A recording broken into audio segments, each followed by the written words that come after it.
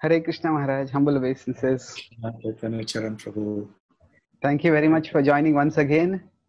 It has been a joy to have you, and many of our viewers have appreciated last time's podcast. There's a very deep, detailed discussion with uh, quite a few practical pointers, and especially the common comment was that apart from what came below YouTube, also is what I got is that we never get to hear a subject in so much detail in normal classes or in normal forums. So i think that it's it's a it's i'm grateful that you're sparing so much of your time. So it's a pleasure chaitanya charan prabhu to be on this podcast and have some very nice and deep engaging discussions on various topics that are of great relevance to everyone in the modern age. Yes, thank you. So that's our purpose. So today I thought that based on the theme we discussed last time of veganism and bhakti, we could take it forward to a related and broader theme of environmentalism and bhakti.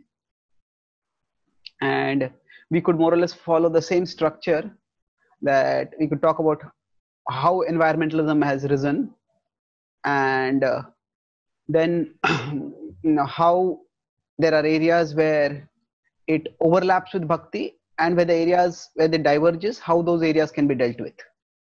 So will that be okay? Yes absolutely. Yeah. So no the environmental movement broadly has three aspects to it in terms of the historical or, or in terms of the origin. One is the the practical uh, consequences of the environment which started it. Then the intellectual intellectual understanding of why it has happened and what can be done. And then the practical measures that can be taken for dealing with it. So that means uh, what is happening why did it happen and what can be done about it. So now what is happening it seems from the 1960s 70s onwards uh, slowly this awareness started rising that our rampant industrialization is having a lot of counterproductive consequences. It was broadly till more or less the first world war or even the second world war much of modernity had a very starry eyed view of the effects of science technology and the results of that for society. But the second world war and especially the use of the atom bombs they that began the erosion of the belief that science and technology will be the source of unmitigated good for humanity, of unquestionable good. Because Einstein was considered to be probably the greatest scientific brain of the last century. And his greatest scientific insight that E is equal to mc square led to the greatest man-made disaster in terms of the weapon of mass destruction actually being used on Hiroshima and Nagasaki. So from that time onward, the skepticism went on. The skepticism was also intellectual in terms of philosophy of uh, science, philosophers of science questioning how reliable is science as a source of knowledge. Karl Popper and others, they pointed out some problems. So now, when the industrialization was going on, and when we were expanding our uh, humanity was expanding its reach, there was just one definition of progress, more or less, that the more industrialized a society is, the more technology that we use, the more we push back into the into the world, we expand humanity's reach, the the more successful we are and the happier we will be. But the silent spring was on the first books that brought the environmental hazards into public consciousness. And thereafter, more and more things have become evident, and especially over a period of time as uh, originally what was called was global warming that the temperature is increasing and there were several uh, predictions of almost environmental of the earth's destruction. But then now the idea has been broadened that it's not just uh, global warming but it's climate change. And it has so global warming was one aspect that the oceans will overflow but now it is broader that there are many aspects to it and they need to be addressed. So this is my broad understanding of historically how skepticism about uh, about industrialization and its consequences especially in terms of environmental consequences came about you'd like yeah. well environmentalism as i see it is a response as you also indicated, that because there were very visible, tangible consequences hmm. that humanity started experiencing uh, in the last many decades. So gradually there emerged a response. And as the consequences became more and more harmful and more and more visible, more and more undeniable, the more the questioning of the underlying, uh, shall we say, practices and philosophies that fuel that kind of situation began to rise. Mm. And ultimately, then, uh, environmentalism rose as a protest, as a response, as an act of concern. Mm. Because, after all, what is environmentalism? it's a kind of an activism. Yeah. You know, there are activists of, of different sorts. You know, you have activists in various social areas or scientific areas. So you have people who are very concerned about the way things were going on the planet. And they did not want to see this destruction and this harm being continued. So there was a kind of alarm that was raised in the minds of people. Okay, if we let the situation persist, then it's not going to be a pleasant scenario at all. Mm. It's only going downhill. So environmentalism actually rose as a symptom. It, it was a response to things that were seen.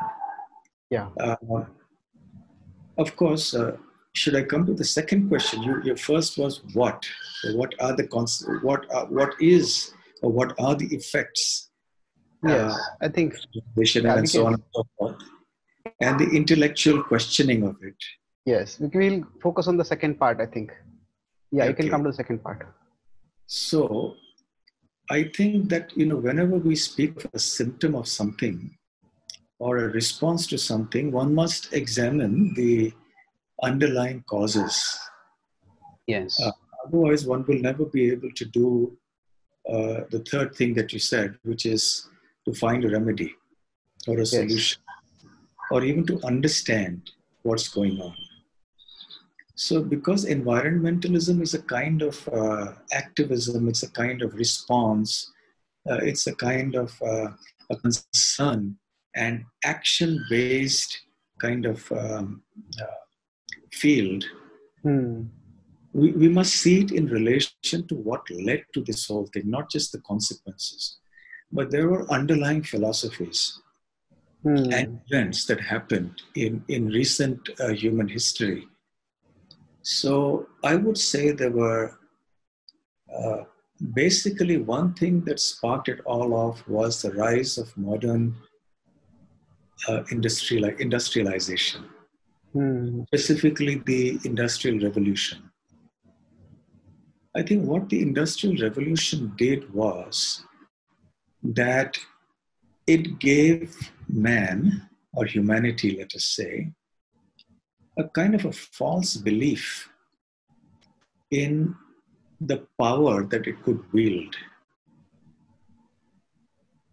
And it gave a kind of a, it diluted man into thinking that uh, humanity could control and manipulate nature at will for maximizing the pleasures and comforts and fulfill all the desires of the human race.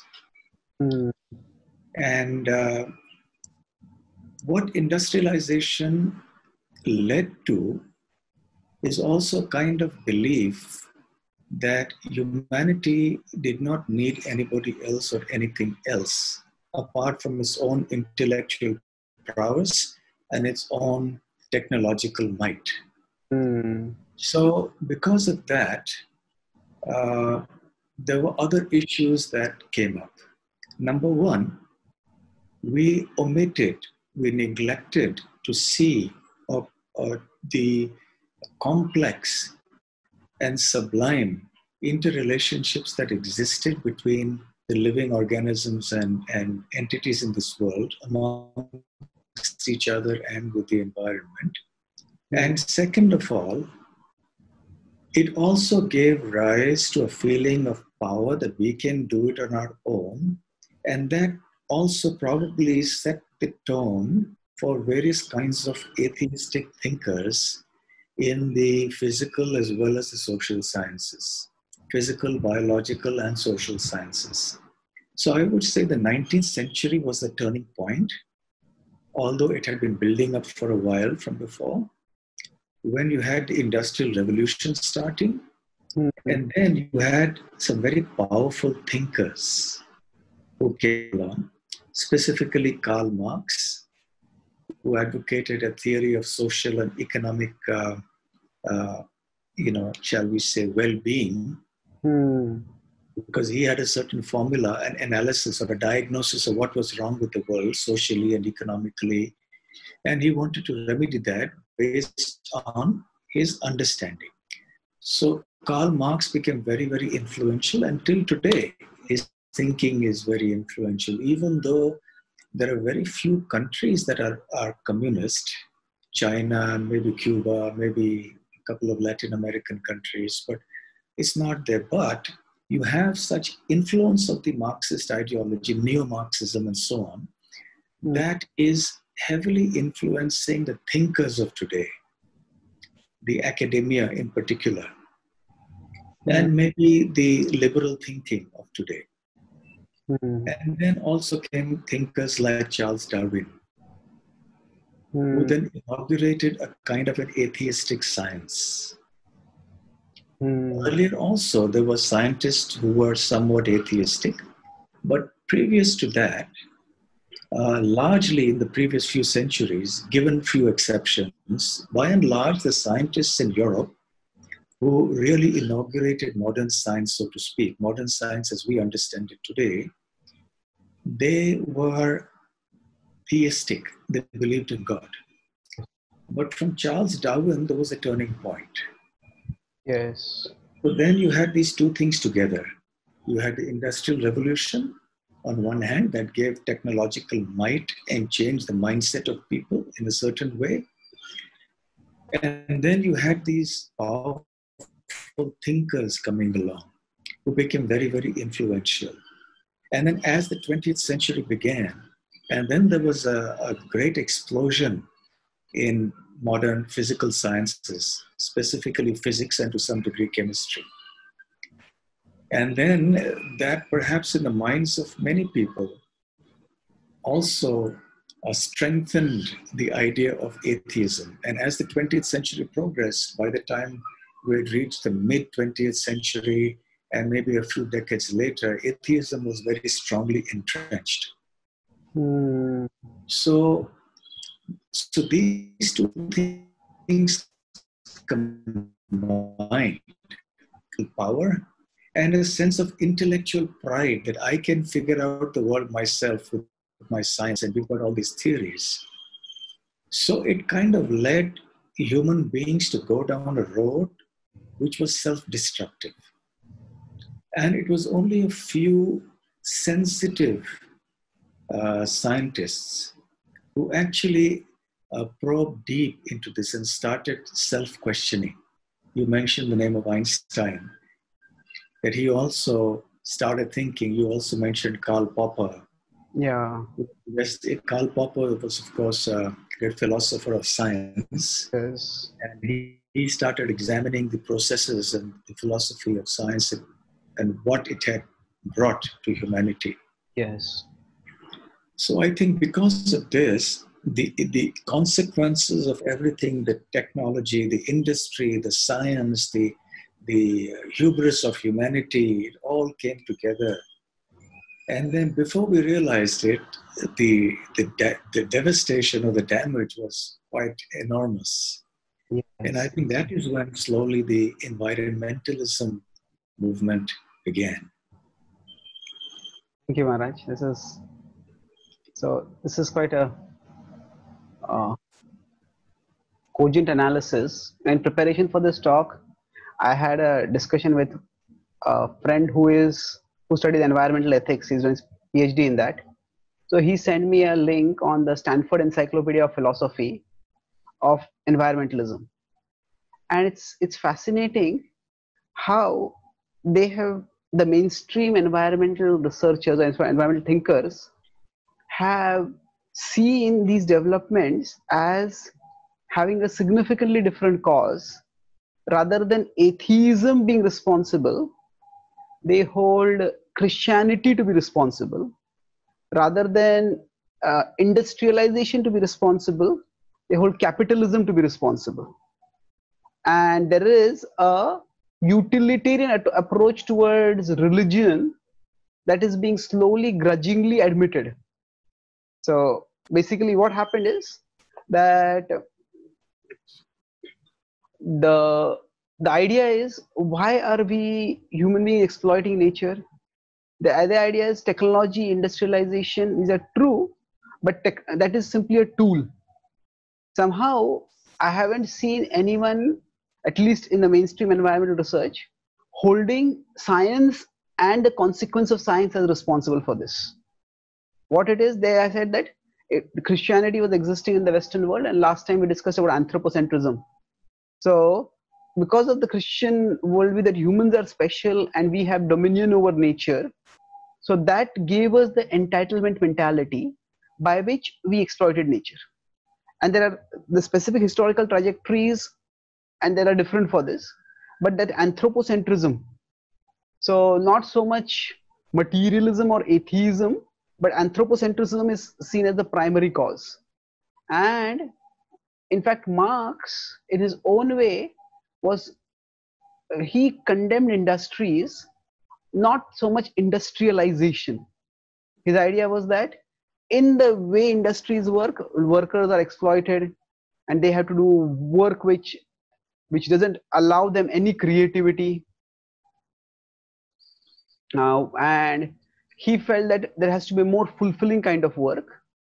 So his critique was against capitalism. And if we even see today the idea is if we have environmentalists who are who are say there is a green new deal being proposed in america which is involving radical measures for restructuring the economy. But there is not much accommodation of anything spiritual in it. The idea is humanity is the problem and humanity needs to be curbed.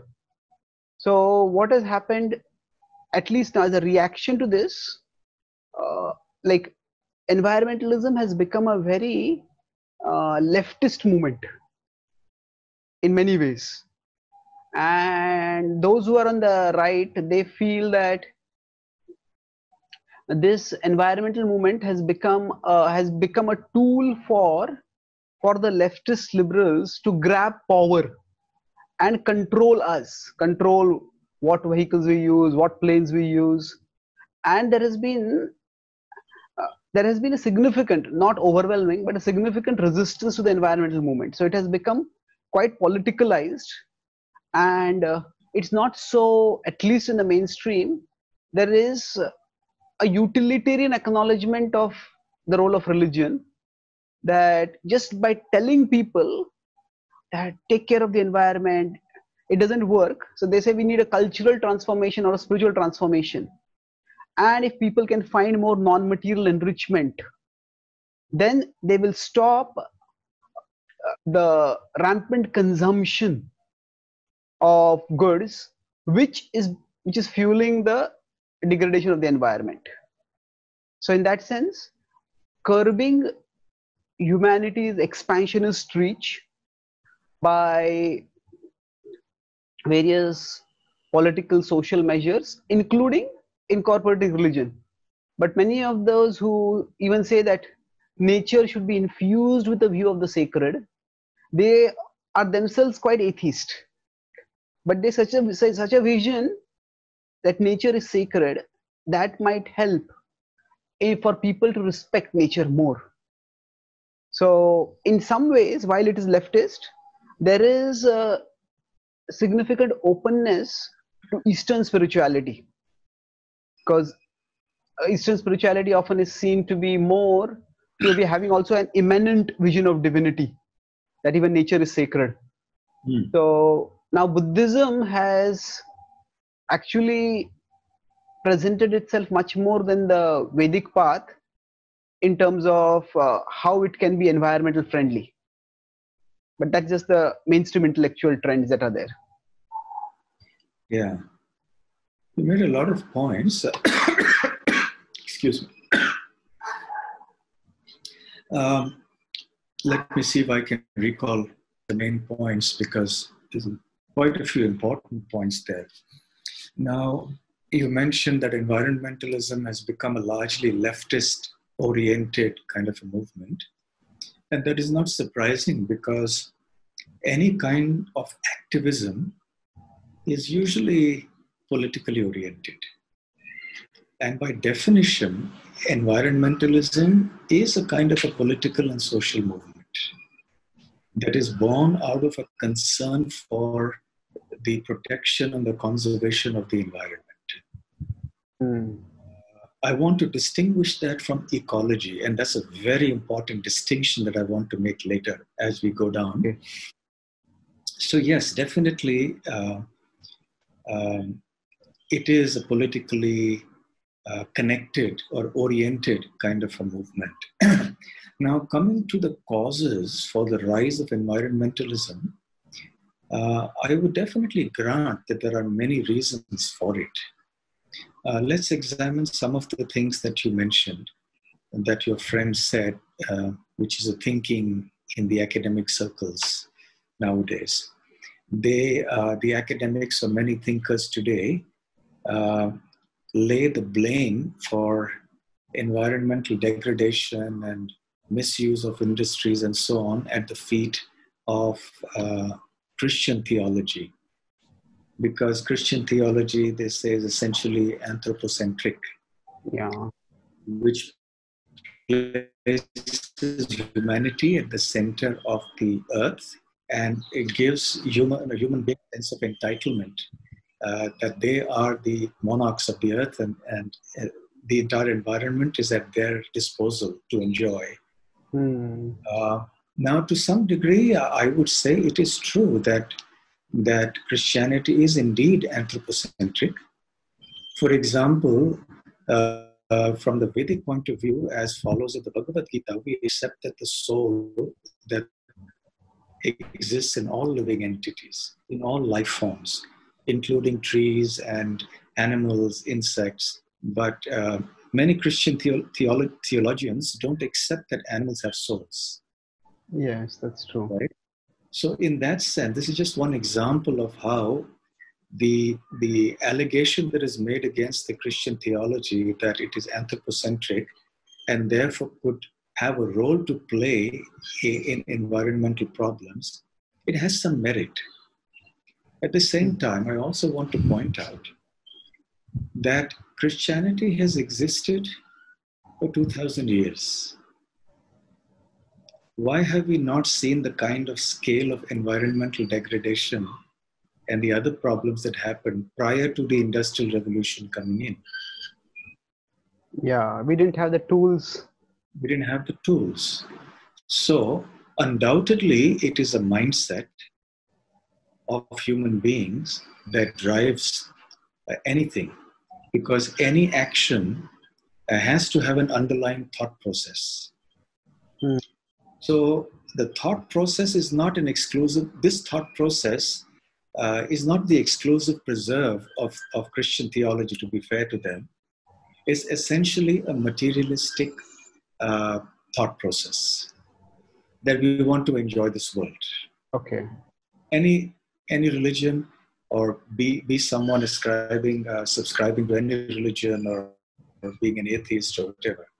So therefore, uh, the entire gamut of uh, philosophies that espoused uh, a philosophy that focused on giving primacy to the human enjoying spirit and to the position of humans here is also responsible. But now, after science and technology came to the fore, uh, modern science and technology, then man had the tools. Uh, science and technology gave power. And power has to be exercised very responsibly. It requires great intelligence, great wisdom to be able to exercise power.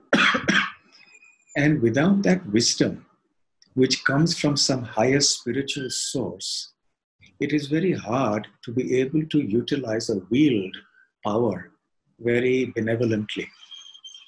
Mm. Then, in the absence of a benevolent mindset or a philosophy that guides people, then rather it gets to be used malevolently.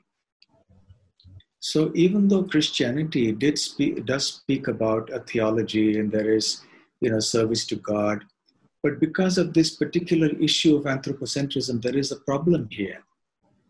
But this problem also exists with many other materialistic philosophies and perhaps some other theologies, I don't know. And this is where I want to bring in the point of ecology. Uh, it is a well known fact amongst those who study this, these two subjects in academia that there is a distinction between environmentalism and ecology. Environmentalism, as I mentioned earlier, is a kind of an activism. Yeah born out of a concern for protection and, and uh, conservation of the environment. Whereas ecology is a kind of a study, very interesting.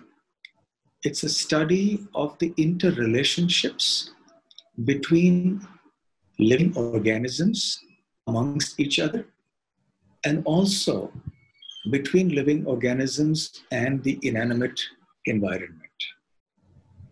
Hmm. So, ecology is a science of relationships. It's very, very complex. And there are cycles, there are flows of energy, there are nutrient cycles of, you know, if you study biology or ecology or, you know, things like that, then we have all these cycles, right? Of how energy flows, you know, water evaporates the seas, goes into the clouds, it comes back, goes into the soil. There's a water cycle and there's a photosynthesis and how the sun's energy is transformed. Yeah. So, this is ecology in a sense that it speaks about relationships. Now, where the underlying philosophies that drove the exploitative spirit uh, have what they have in common is that they don't have a holistic, a wholesome uh, understanding of ecology. So, therefore, uh, I would say bhakti ecology is a better way to put it than bhakti environmentalism because okay. uh, a devotee of the Lord sees the relationships you know of the of the world now, I'll come to the other point that you mentioned. We'll talk about ecology and the thing a little later if the opportunity arises. But you also mentioned an interesting point that some people say that nature itself is sacred. Yes? Uh, At least we should inf- infuse a vision of the sacred into our into our conception of nature so that it will be respected and uh, right. protected Yes, and ironically, these some of these people are atheists themselves. Yes. Okay.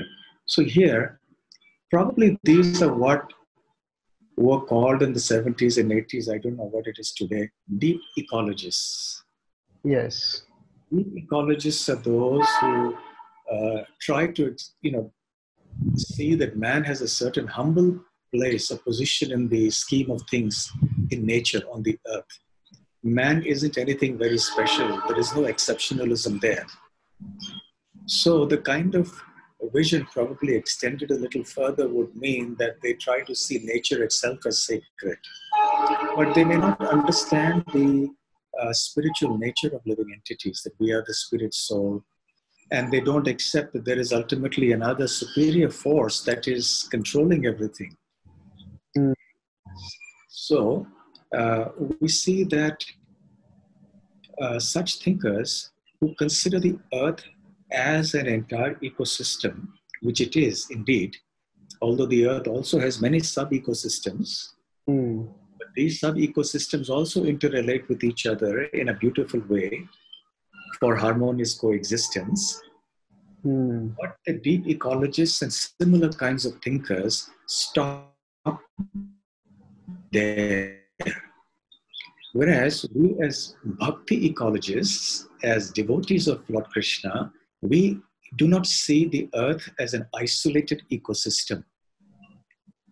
And actually even from a you know modern scientific point of view the earth is not an uh, independent ecosystem because we depend on sunlight. Just imagine if there was no sunlight even for a few hours what would happen to the whole earth planet so even apart from the sun and the rest of the universe we're talking of a supreme intelligence a supreme power God, we call him Krishna, under whose superintendence and direction this whole ecosystem is going on.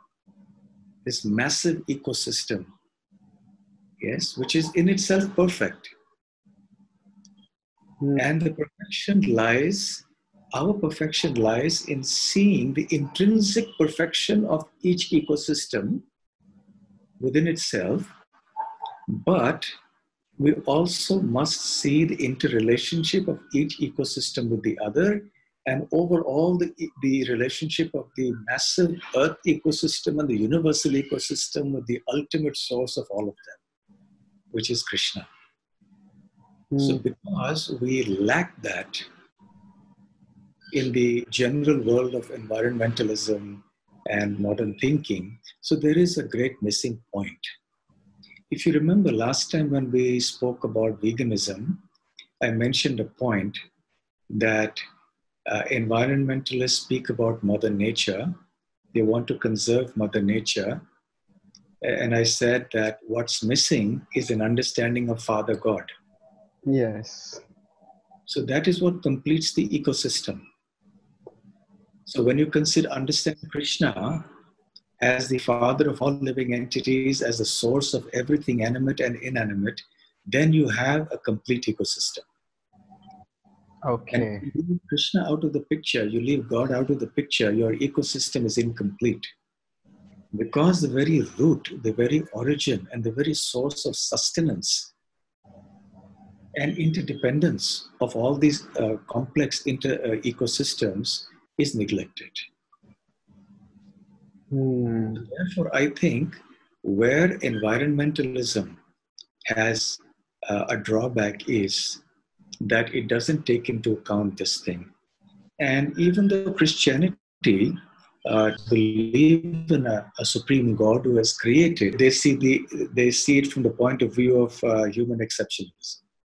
Yes, they do not see everything else as sacred. Hmm. So this, I therefore, coming back to your, your point, uh, to blame, although Christianity may have a role to play, but I would not, to be fair to Christianity, blame it entirely. It is essentially materialism. It is lack of an understanding of our own spiritual nature as spirit souls. It is a lack of understanding and faith and belief in a supreme source of everything it is a lack of understanding of uh, the divinity of the entire creation. There are two reasons why, principally, we believe as follows of the Bhagavad Gita that nature is divine Hmm. because it comes from the divine. It is the energy of the divine. Hmm. We don't have nature as God, but we, ex- we accept nature as godly because it comes from God. It is the energy of God. And that connection is very important. And the second reason is that uh, God is immanent in this creation, in the sense that He is um, all pervasively present. Yes. Not only is He present in every, in the heart of every living being, as the Bhagavad Gita says, but He's also present in every atom. Hmm. Therefore, every atom is sacred from that point of view. Hmm. So we see the divinity of nature in this respect. It is not a sentimental or a utilitarian kind of uh, premise for accepting nature as sacred or divine. Yes, Maharaj. So now there are opportunities for bhakti theology to act as a act as a spiritual foundation for the for environmental concerns. Right now environmental concerns Yes. are are genuine but i would say that they are they are there is there is no proper worldview within which to ground them. So bhakti theology could work for that. Now one of the objections that i have seen is that in principle we may say that the world is sacred and nature is sacred but is this seen through our actions? That means that does do we see say for example in india or any other parts of the world that because of our spirituality because of our understanding of nature we have taken special care of nature? Now if we look at our epics uh, there are descriptions of destruction of nature. Say the pandavas burn the khandava forest. The hanuman destroys the ashok vatika. Then when the when hanuman when the vanaras come back after searching for sita and they said they're celebrating they disrupt the gardens of sugriva then even there are descriptions of how when uh, when some warriors are fighting they just pick up trees and hurl and destroy trees. So now that's one side of it. There's also the other side historically speaking of there have been movements like the chipko andolan where people embrace trees and were ready to die to protect tree they were ready to protect trees. There are also cases of especially certain trees which are considered sacred people protecting them at the cost of their lives. So it's uh, it's one thing to talk about what the theology is but uh, india is also has india uh, if we consider in india have we really seen environmental concerns being tangibly addressed because of somebody's uh, religious or bhakti beliefs I think this has to be seen in uh, a complete uh, context. um, undoubtedly, there have been instances of destruction, right? You mentioned a few, and I can mention like a few more, like Indra unleashing torrents of rain Hmm. Right. to try to destroy Braja and so on, the land, holy land of Krishna, Vrindavan.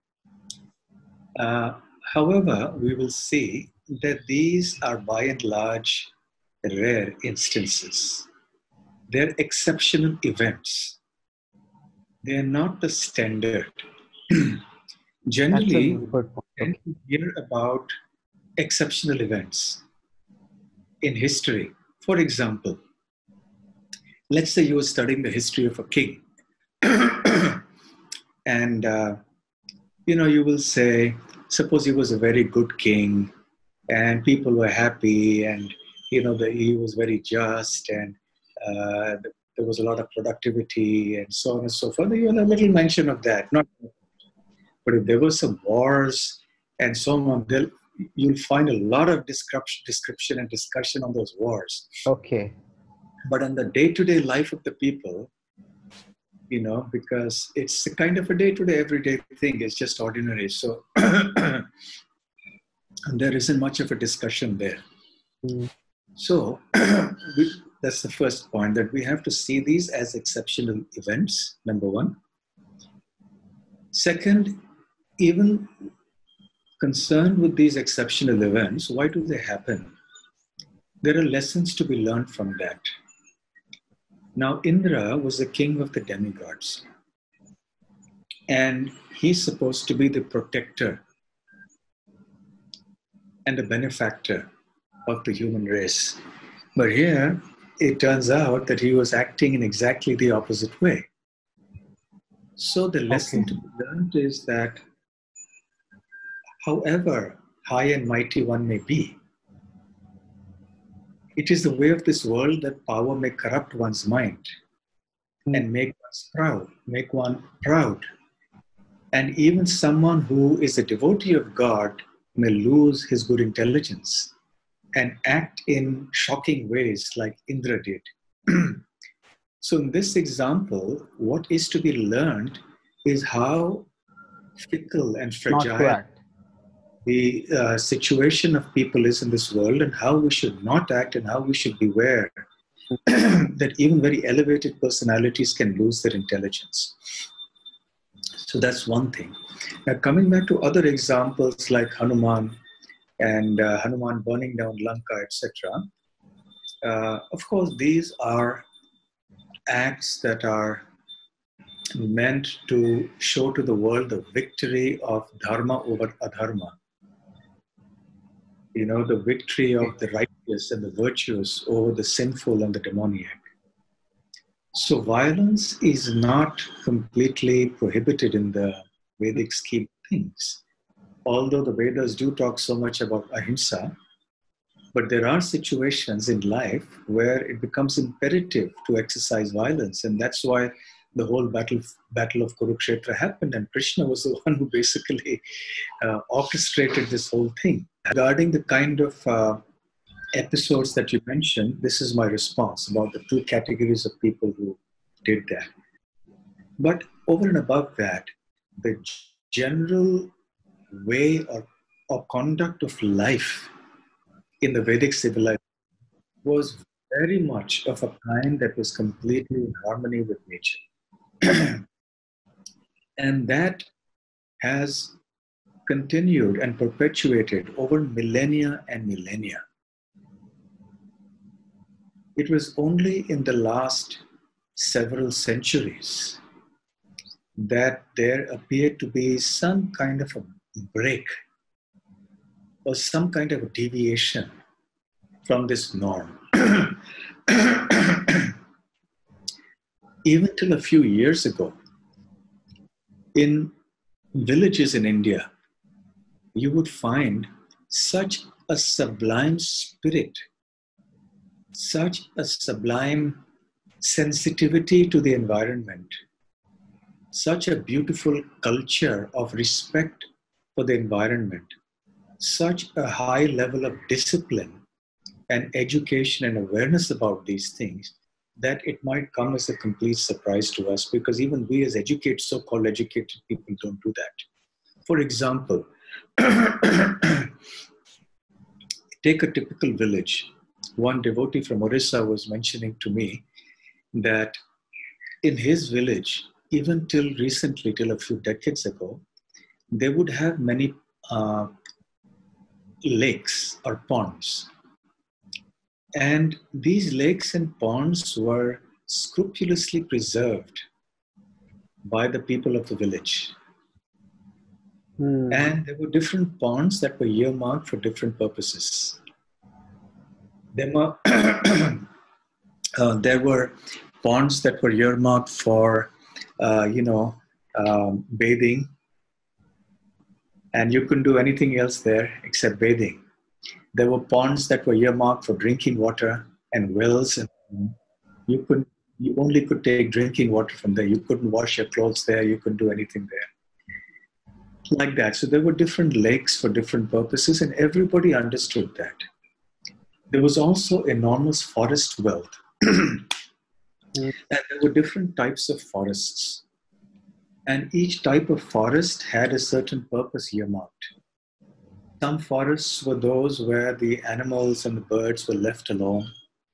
There were certain types of forests where the sages went in for meditation there were certain types of forests, and these forests usually were those that were adjoining the villages, which would uh, uh, be used as sources of livelihood for the villagers.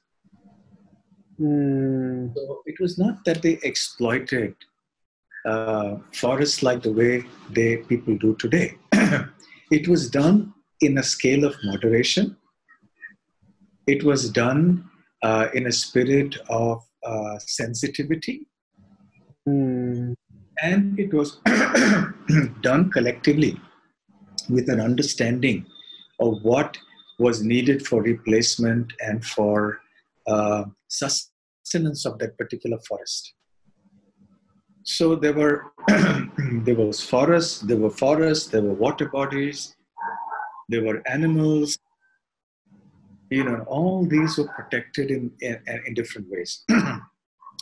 So humanity that is those living in the villages did uh, utilize the resources of the environment but it was done in a very cultured way in a very sustainable way in a very sensitive way in a very cooperative way. The entire village cooperated you see, this was the level of education. I don't mean material education as we understand it today, but this was the level of refinement of the intelligence and the consciousness, even of people in the village who may not have known how to read and write. And this was there till a few centuries ago. And then what happened is that gradually there was colonization and this particular culture was eroded. And it was sometimes willfully destroyed.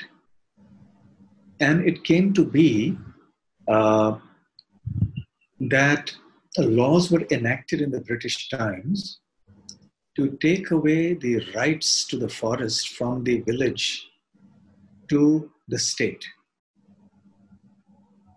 So earlier, the villages were managing their own affairs they had wise elders. They were steeped mm. in hmm. understanding. There were saintly people who used to come there, live there, travel, visit. So, because of the refined spiritual understanding and their understanding of spiritual ecology, they, this thing was preserved for millennia.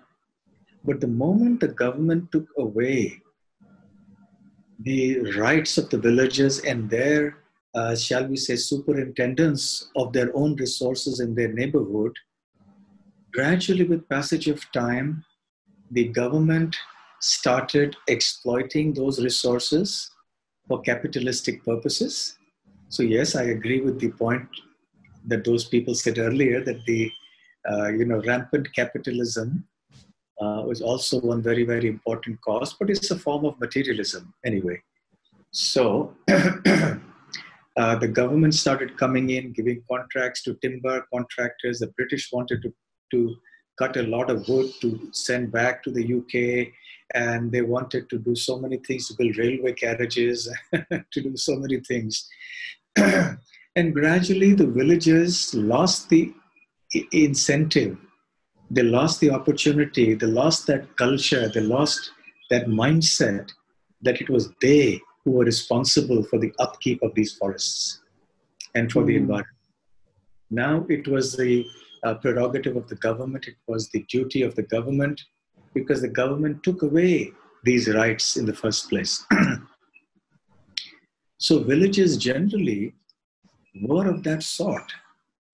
And finally, after years and years and years of such, uh, shall we say, disempowerment of the villages and the dismemberment of this kind of sublime ecological culture, which was based on spirituality and, and deep religion, what happened is that the villages started becoming uh, dirty places. They started becoming places where the villagers remained uneducated.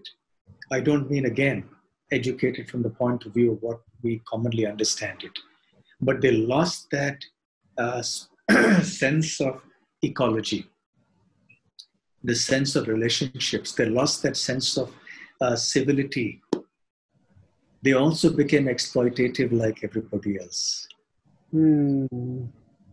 And then there were social problems, there were quarrels, the bitter quarrels amongst the people, the exploitation of nature. It all happened like that. That's why Mahatma Gandhi, if you look at it, Srila uh, Prabhupada may have differed with him on certain theological issues, but when it came to economic organization and environmental uh, protection, he very much appreciated uh, Mahatma Gandhi's views, especially his idea of Swaraj. Swaraj means independence, but his definition of independence was self restraint whereas the modern understanding of, of uh, independence is freedom from restraint. oh, that's striking. So, in, in that sense, because the villages of, of yore in India practice the principle of simple living and high thinking. Mm. So, today, the moment industrialization came in, uh, mass production, mass consumption, consumerism, and all of that started to get encouraged with industrialization, technology, and so on. That, sub- that sublime innocence, that beautiful culture of spiritual ecology of the villages was lost. So it's not that uh, there weren't examples, there were examples. But there was, over a period of the last few cent- some centuries, uh, gradual deterioration in that because of the factors that I just mentioned. Thank you. That's quite a comprehensive overview. While you're talking, I just remembered that in the Mahabharata, when the Pandavas are in the forest, Vyasadeva comes to meet them and says that, you know, you, you have stayed here for a sufficient amount of time, and many sages come and to visit you also. You stay for too long over here, the the flora and fauna here will get disrupted. You yes. can move to another place now. Yes. So that is environmental sensitivity we could say. And uh, another point about self-sufficiency that is some i have been reading about indian history and i found that uh, in some ways before uh, the british came and before colonization even when India was ruled by Islamic invaders, they didn't interfere so too much with the with the socio-economic systems. They did disrupt the religious structures, but the socio-economic structures were maintained in their own way. And as long as they got their tariffs, they got their taxes, they they left people alone. And that was one of the reasons why India has been so resilient. Although the cities were uh, visible, visible manifestations of wealth and opulence, but it was the villages which were the sources of the wealth. And invaders came and plundered the cities, but and that plunder was dev- devastating. But the villages were not affected that much. And within a few years or a few decades, again there was a resurgence because the village villages were still prosperous or rather they were the source of prosperity. And uh, so self-sufficiency in terms of uh, uh, local leaders managing uh, things locally is uh, is something which uh, actually keeps people more in tune with the ecology. You know in some ways capitalism is blamed but when you're talking about the government taking power this is what happened uh, in a very tragic way in china at the time of mao zedong's rule. There is something called the great leap forward and he he wanted to show how china is prosperous and he had the idea that all the grains from all over china will be centralized brought to the central place and then allotted everywhere. And then so there were people they would grow land grow grains but they were not allowed to use them. And all the grains were taken for them and they were kept in the granaries and stocked. So outside those granaries people were starving and dying and but those grains were not given.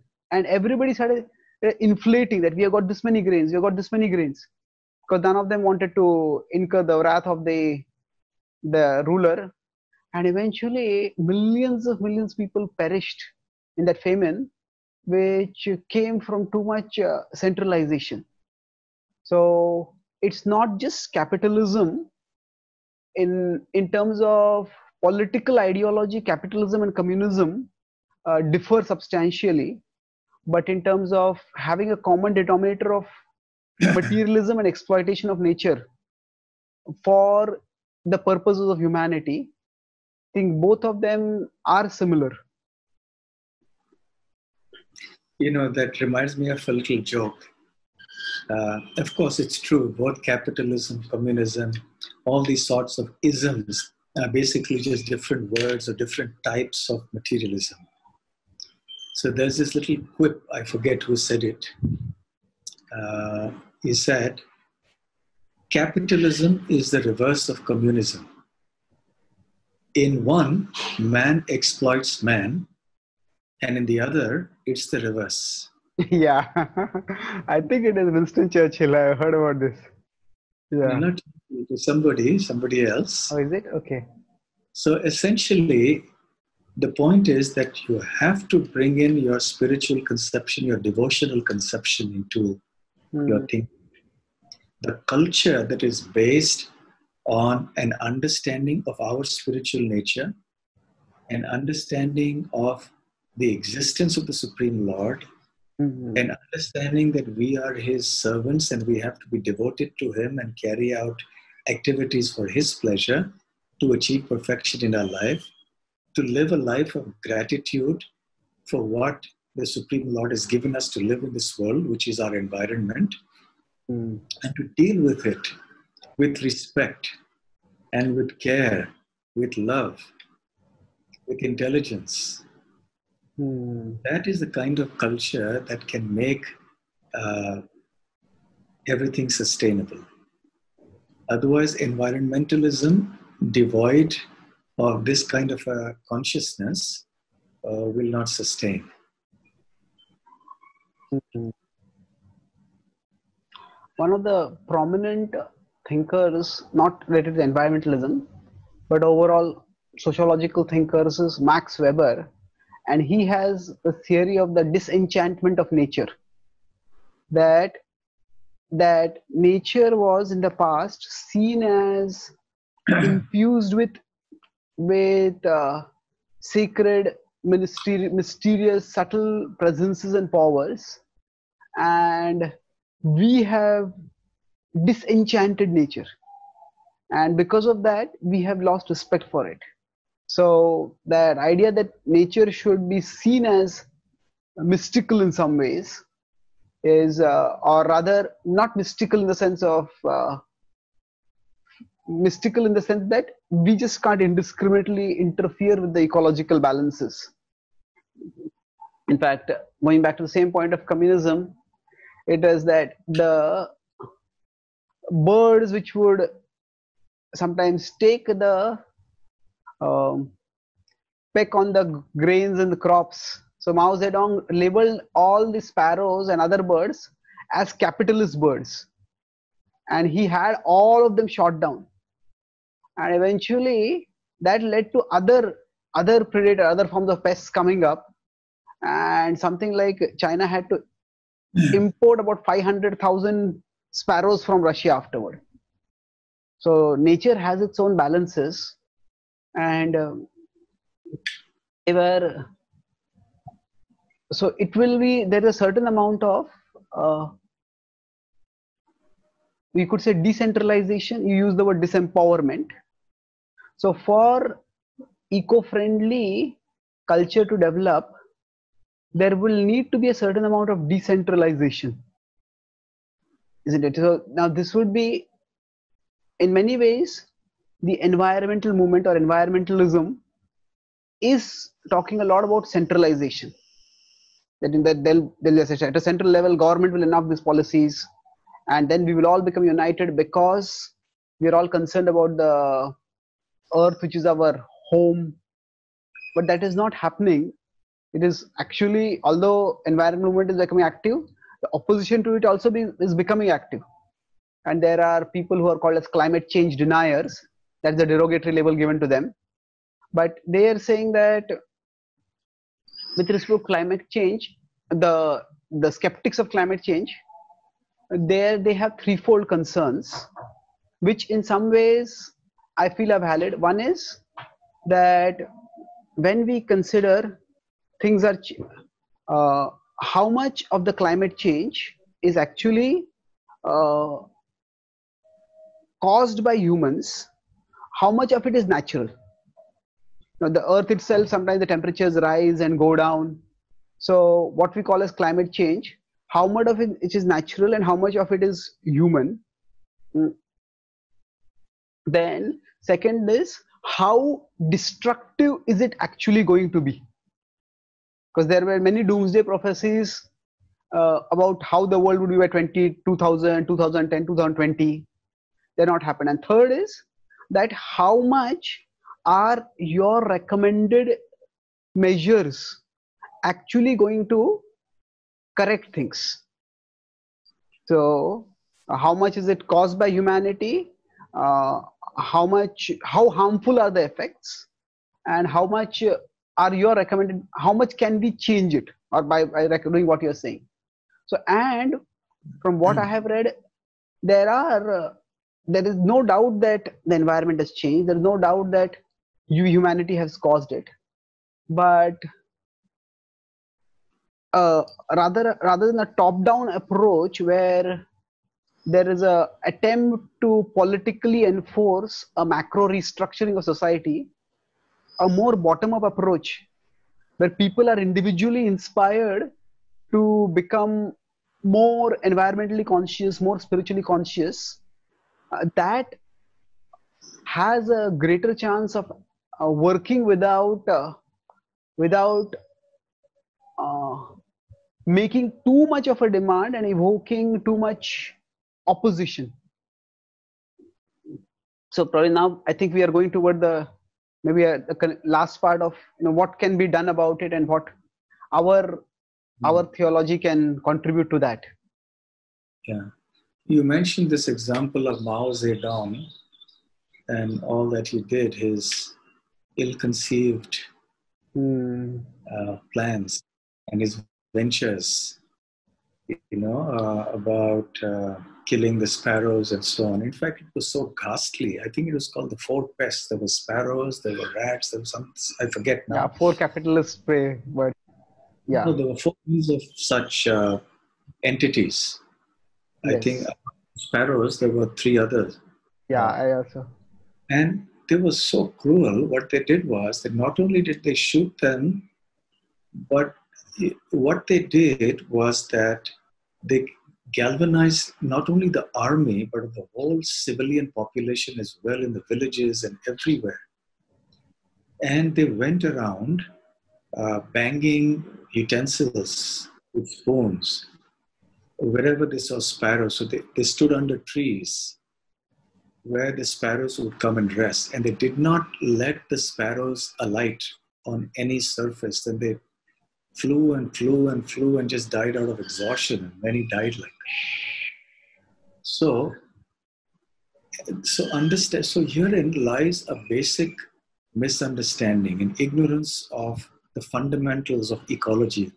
That is why I was mentioning earlier that um, in the protection and conservation of the environment, an understanding of ecological principles is very important. And I don't mean just simple mundane ecology. That in itself is very vital. If Mao Zedong had at least understood even basic modern scientific ecology, he would have understood what kind of devastation it would cause just by destroying one type of species. Mm. So much of interdependence.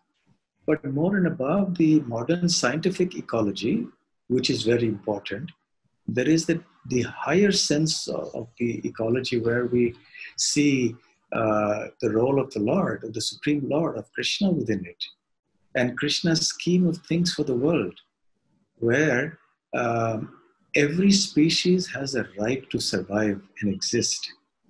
Hmm. Every species has a stake, has a claim to the resources of nature proportionately. It is not only the prerogative of the human race.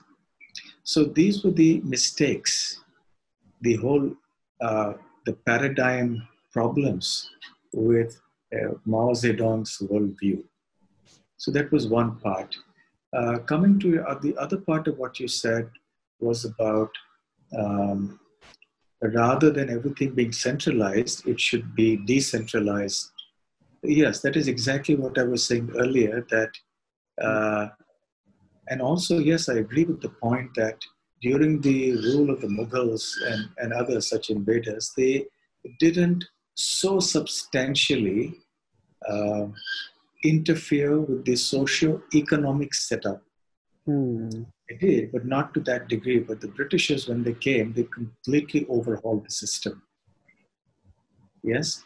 So, as I mentioned earlier, that they took away the entire prerogatives and the rights and the powers of the local communities from the resources that were traditionally for millennia at their disposal and which they looked after with wisdom and care and love. Once they took that away from them, mm. what happened is you alienated them, you disenfranchised them, you disempowered them, mm. and then you made laws sitting in, in some capital city somewhere. And then you expected everybody down to every village to obey every law you made. And because it was a difficult thing now in this age of materialism where everyone was driven by selfish ambition, and because of the simultaneous lack of spiritual education and the rise of materialism, it was very difficult for the people in the village to buy in to everything the government was saying and even what the environmentalists started saying of late. Mm. So, in as much as decentralization is important, it is not sufficient. And you also alluded to this point that there has to be spiritual education. And there has to be a restoration of the spiritual culture in every village. Otherwise, it won't work. What will happen is that instead of some uh, some personalities, some in, you know bureaucrats sitting somewhere, some politicians somewhere sitting in some distant place, you know, having their own vested interests in in making some decisions or policies, you know, and very often they, they do it for their own private gain. Now, you will have people sitting at the local village level who will exploit. They will become okay. the exploiter level because uh, they have the power, but they don't have that spiritual culture. They don't have that spiritual education.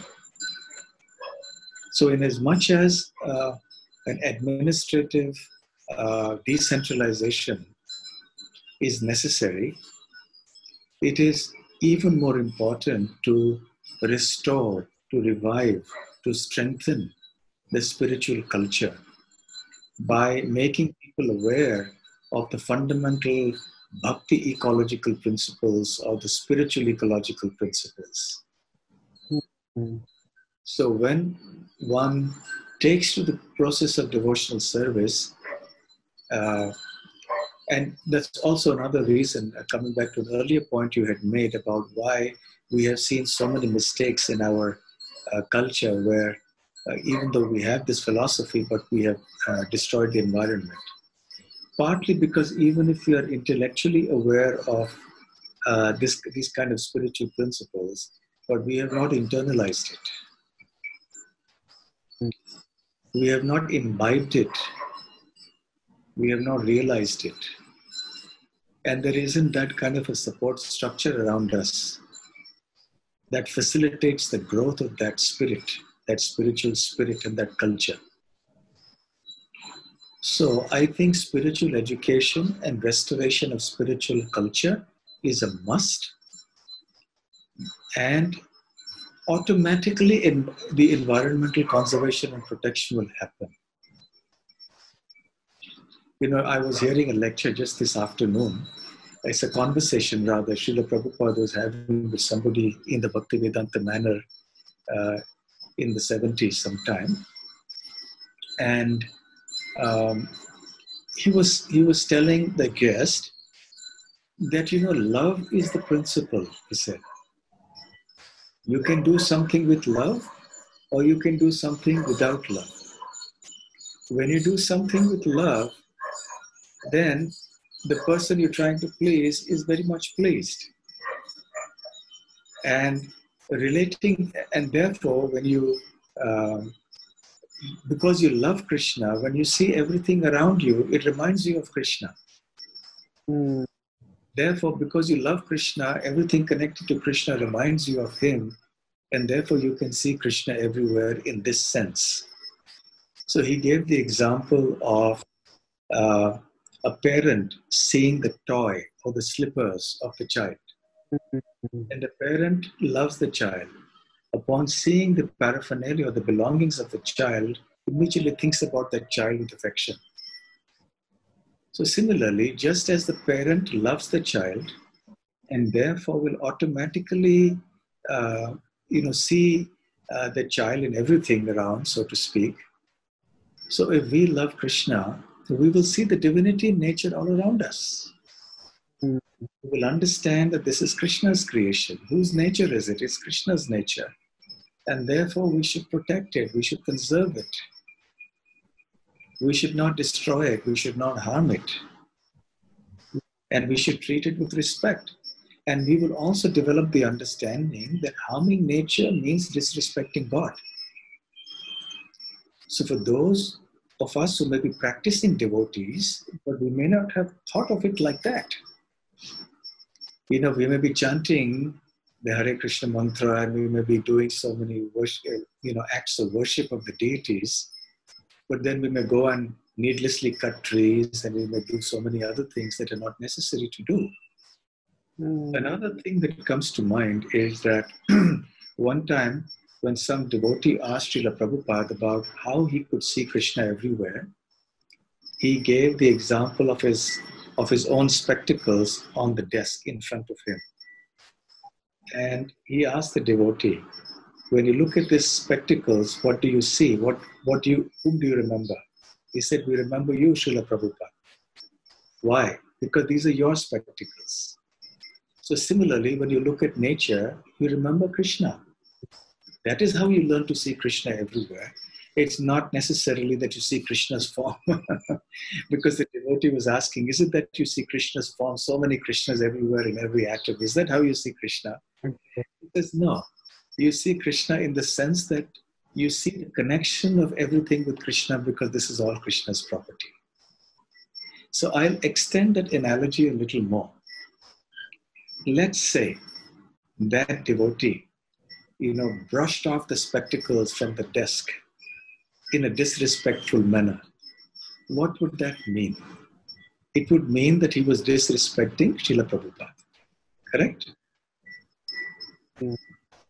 Because he was disrespecting or, uh, shall we say, not ill treating something that was the property of Srila Prabhupada. So, treating somebody's property badly means to treat that person disrespectfully. Mm-hmm. You know, let's say you go into somebody's house, you see his car parked there in the driveway, and so you go and kick the car and you smash the car, and then you go to meet the person. But because you Okay. and mistreated the car, you've already indicated that you know you have uh, treated the owner disrespectfully. Mm-hmm. See, if you did not know the connection, you did not know who owned the car, it was one thing. But all the more serious is the offense if you knew who owned the car and still you acted disrespectfully. So, therefore, for devotees, it's all the more important that we treat, treat nature respectfully in all her aspects nature, the water bodies, the forests, the trees, the plants, the animals, the birds, the insects, the hills, the rivers, you know, everything around us. Mm-hmm. Because we understand that treating nature disrespectfully means treating Krishna disrespectfully. And that is against the tenets of the bhakti cult, the love, the cult of devotion to the Lord. Therefore, the root is trying to love Krishna and understanding what it really means to love Krishna not just in terms of the physical acts of doing our sadhana, chanting our rounds, and, and going through the motions of doing activities in the day of worship and so on and so forth, but also to internalize it by understanding that there is a world view that will come as a result of that love. Because if I love Krishna, as Prabhupada said, I will love everything connected to Krishna. And I will then see Krishna in everything. So when I see Krishna in the trees, why will I harm those trees? If I see Krishna in the rivers, why will I pollute the rivers? If I see Krishna in the air, understanding the air to be Krishna's energy, now why will I pollute the air? Mm-hmm. So basically, that is how I see uh, bhakti ecology to be the real uh, alternative to the activist uh, environmentalism of today, which is left oriented, as you rightly said. Mm-hmm. Uh, so we want to bring in, uh, we're not left or right or this or that, but we are God centered, bhakti centered. So we want to bring in a bhakti centered, ecologically driven, um, environmental consciousness. Yes. And actually, see everything is holy, everything is divine. Mm. Mhm. Yes, that's beautiful. While you're speaking, I remembered a few things. How Srila Prabhupada, while the Juhu temple was being constructed, there are some trees in the perimeter of where the temple was to be, Yes. and the government authority said we will have to we'll have to cut the trees. yes. And Prabhupada said that's against our religion. And Prabhupada, the devotees had to do various things, but finally they insisted that the tree should be there. So yes. and Prabhupada said specifically, tell them it's against our religion to cut trees. It's quite striking. Yeah. Mm. And uh, when you're talking about, yeah, Krishna courtyard, sorry, they all similarly with in the Krishna uh, Balram courtyard, yeah. Vrindavan. in the courtyard. Yes. So I was thinking another thing is that we have Bhaktivinoda Thakur in Chaitanya Shikshamrita talks about these four levels: fear, desire, duty, and love. So if we apply these four even to nature, much of many environmental activists are trying to get people galvanized at the levels of fear and desire, or maybe duty. It's a lot of fear. If you don't do this, this will happen. This will happen. This will happen and they are dismayed why are you not recognizing that is so dangerous so on the other hand if we talk about desire you say that you know you want to you have lived in the environment you have to take care of your uh, descendants you know instead of there's a common environmental saying that you know, we have we have not inherited the earth from our ancestors we have borrowed it from our descendants. That means the way we have lived is that we have not left anything from our descendants. So in some way they try to create desire for concern for others or duty. But uh, in general just like when we talk about religion at these four levels fear desire and duty often fear desire and duty these levels are not very sustainable. Because if i feel that there is just because i'm doing something out of fear as soon as i feel that the danger is not there i'll stop doing it. But when there is love then it will be much uh, then it has become sustainable. So now so what you said is that if we develop love for krishna naturally we will develop love for nature uh, in one sense there, there are two distinct applications of this. Those who are always already devoted to krishna we need to see that krishna is not just someone whom we worship through the chanting of our mantras but we serve krishna through the way we are environmentally conscious also. So that's for those who are already bhaktas. So that but for those who are not so is it easier to appreciate and love nature or is it is easier to appreciate uh, and love the source of nature love god or love krishna? In one sense there are many people who who nowadays talk about the universe in a generic way. And they say that uh, uh, i pray to the universe. There is a whole category of prayers i saw one book uh, on amazon. It's called prayers for atheists so so there is a british author who has said that since Friedrich Nietzsche in about 150 years ago, sociologists have been predicting the death of God. But it has not happened. Religion has had enormous staying power.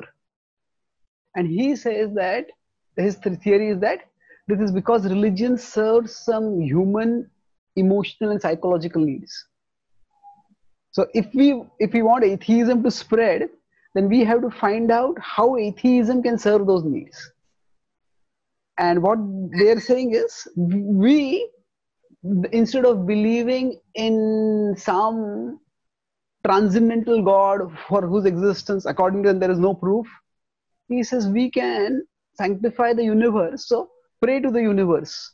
May the universe respond to your prayers. And the universe is reciprocal. The universe, so in one way, for some people, they feel yes, the universe is what it's real. I see that. Nature is what I see. So to develop concern for nature, is it necessary to develop concern for God? And uh, would it not be easier to develop concern for nature because it is visi- visible and essential and uh, we can see that we need it but we don't see god we don't many people don't feel the need for god so do we need to go the in one sense I care for the environment. I respect the environment. Do I need to bring in God to care for the environment? It seems to be going like a long cut way. Yeah. Um, our clear belief as devotees of Krishna is yes. It is necessary to believe in God to make our conservation of the environment sustainable and complete. So I have given the theological background to it, Hmm. the theolo- theological paradigm based on which we have such a, a belief. Um, before I come to that, I'll just make a brief mention of these atheistic prayers that you mentioned. Humanity has been there before and done that worship of the universe or worship, worship of, the, of nature even is not something new. In fact, in the Bhagavad Gita, Krishna speaks of five types of worshippers. Those who worship Krishna, you have the pure devotees, the Mahatmas. You have those who are mixed devotees. you have those who are worshippers of the demigods you have those who are impersonalists, who believe the absolute truth to be impersonal. And finally, you have those who are worshippers of the universal form. Now, this fifth category is basically worshippers of nature, worshippers of the universe. Okay, so it's a kind of a pantheism. Okay. Pantheism is, is the belief in uh, the universe itself being God. So you don't need a personality behind it, you don't need a supreme intelligence behind it, there's no controller behind it, but nature itself is God. Is Okay, so- Ekatvena Bahuda Vishwatomukam that verse you're referring to? I think Yes. 950. Okay, yeah. Vishwatomukam, the universe, yeah. Refers to the universal form. So, so this is a kind of pantheism. So it's not a new viewpoint. It's been around for a long, long time. Okay. So that doesn't impress us very much because it doesn't have much substance. Uh, it lacks depth. It lacks any form of logical and, and certainly spiritual rigor. So, to explain this point of why God, belief in God, and faith and, and devotion in God is necessary to sustain our concern for the environment and its conservation and protection, I'll go back to the four points that you mentioned that Srila Bhaktivinoda Thakur said Hmm. that our motives for working, for performing any action are, you know, first there is fear, there is sense of reward, and there is uh, um, duty, and then love. Yes? So, you know how I would see it? This is, by the way, a very beautiful analysis. This is an analysis, a, a categorization that I love to quote uh, on many occasions because it is so apt. Uh, I also see a correlation between this and the three modes of material nature and transcendence. Fear is a characteristic of the mode of ignorance. The reward and desire for material progress and accomplishments and, and enjoyment is a characteristic of the mode of passion. Hmm. Performing things out of a sense of duty is a characteristic of the mode of goodness. Hmm. Whereas love, if it is applied to the Supreme Lord, is a transcendental phenomenon Hmm. that goes three modes of material nature. Here we are speaking of spiritual love, not ordinary mundane love. So let's look at environmentalism or the approach to the environment from these four points of view. what is the uh, tamasic viewpoint or the uh, viewpoint from the mode of ignorance to um, the environment? That is essentially destructive, right? Um, it's a demoniac kind of viewpoint. Asatyam, apratishtham, jagat ahur anishwaram, as Krishna says in the 16th chapter, that they say that this universe is asatyam, it's false. It is apratishtham, it has no foundation. Hmm. Ahur anishwaram, it doesn't have an ishvara or a controller. It happened by itself. You know so the views uh, of the atheists today are not necessarily new. They have been around for a long time in different forms. So this is a kind of uh, a demonic view that is uh, the cause of destruction in nature uh, if I remember right, in the very next verse in the Bhagavad Gita says, "Etam drishtim avashtabdya nashtat mano pabuddhayaha prabhavatyugra karmanaha kshayayo jagato hitaha." Right? That's the next verse. Am I right? Yes, 16.9. So basically, in this verse, Krishna will say, Etam drishtim, by this viewpoint, this world view. What world view? That there is no creator, there is no God, you know, there is no foundation, yes, to this whole world. You know, what comes? Uh, they are lost unto themselves. Nashta Atmanaha. Okay, so the people who hold such viewpoints are first of all lost unto themselves. And they are less intelligent, alpabuddhayaha. Prabhavatyugra karmanaha. And they engage in uh, horrible acts, ugra. terrible acts, ugra karmana, kshayayaha, which will lead to destruction, jagato ahita, to the which are for the jagat or for the world, ahita, which is unbeneficial. Mm-hmm. So all the environmental destruction that we see is ugra karma. That ugra karma comes, it is propelled by principally the mode of ignorance. Now, the three modes of nature are not watertight compartments. They flow into each other.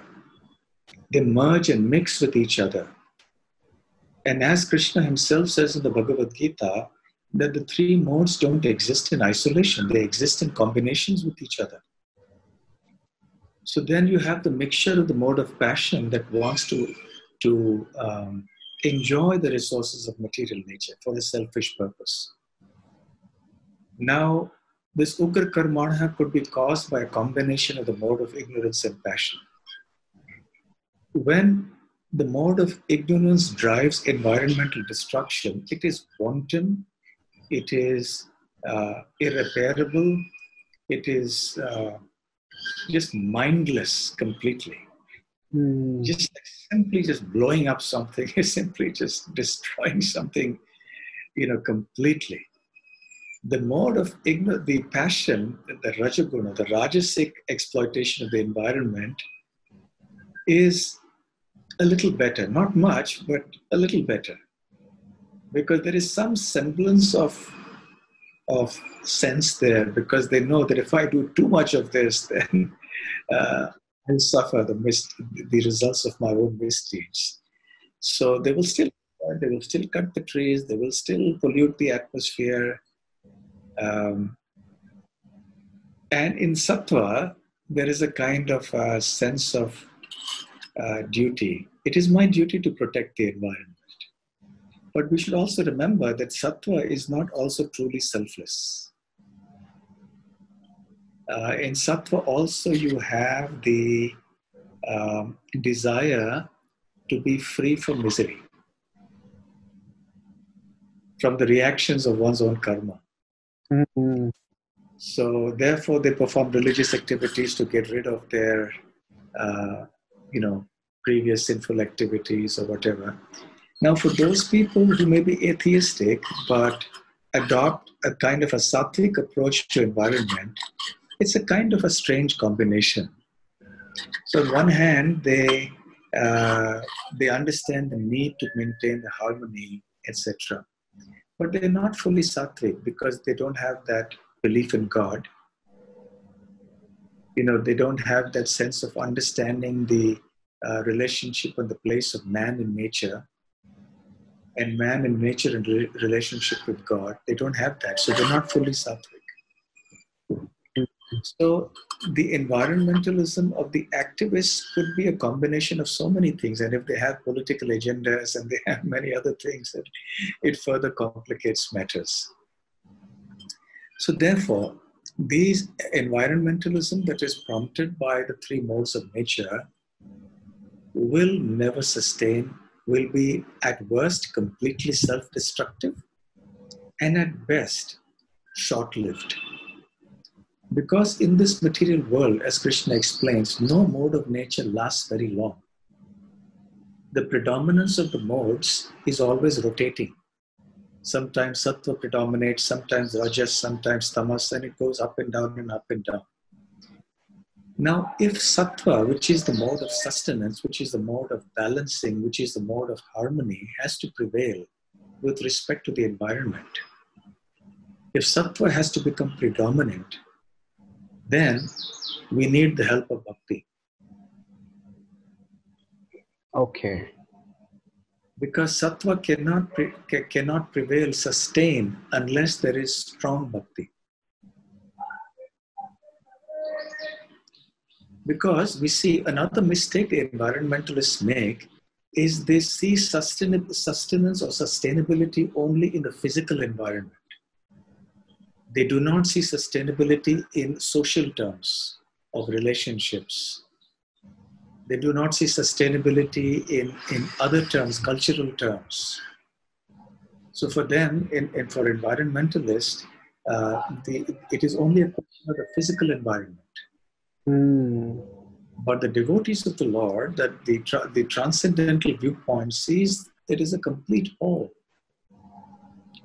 And if your fundamental underpinning, your fundamental uh, paradigms and philosophical underpinnings are rooted in uh, rajas and tamas and even ordinary sattva, it will not last. So, therefore, even if theoretically, let us say you bring about a state where you have environmental harmony, but you don't live a godly life. So, you'll have social disharmony, you'll have dysfunctional relationships, you'll have cultural problems. So, therefore, in order to uh, sustain environmentalism, it has not only to ensure that it broadens its scope to not just physical environment, but to uh, social, cultural, and other related areas. And it has to take shelter of a higher and a deeper, uh, inclusive understanding of creation as a whole, which means to bring in Krishna or God into the picture. And I come back to the point I made right in the beginning and also last time that your envi- environmentalism will be incomplete unless you bring in Father God. Hmm. And Krishna is actually the perfect environmentalist. The topmost environmentalist is, in, is Krishna. And you see that in his pastimes in Vrindavan. so, as devotees of Krishna, you know, automatically, or if not automatically, at least by, by deliberate action and thought, we should try to follow in Krishna's footsteps and try to see how Krishna uh, acted with so much respect, so much love, you know, towards the entire environment of Braja, of Brajabhumi, whether it was Govardhan Hill and according it the due respect and worship, whether it was uh, protecting the um, the sweet waters of the Yamuna from the poison of Kalia, protecting the other lakes, whether it was protecting all the various trees and branches by offering them worship. There are so many verses in the Bhagavatam where Krishna glorifies the trees of Vrindavan.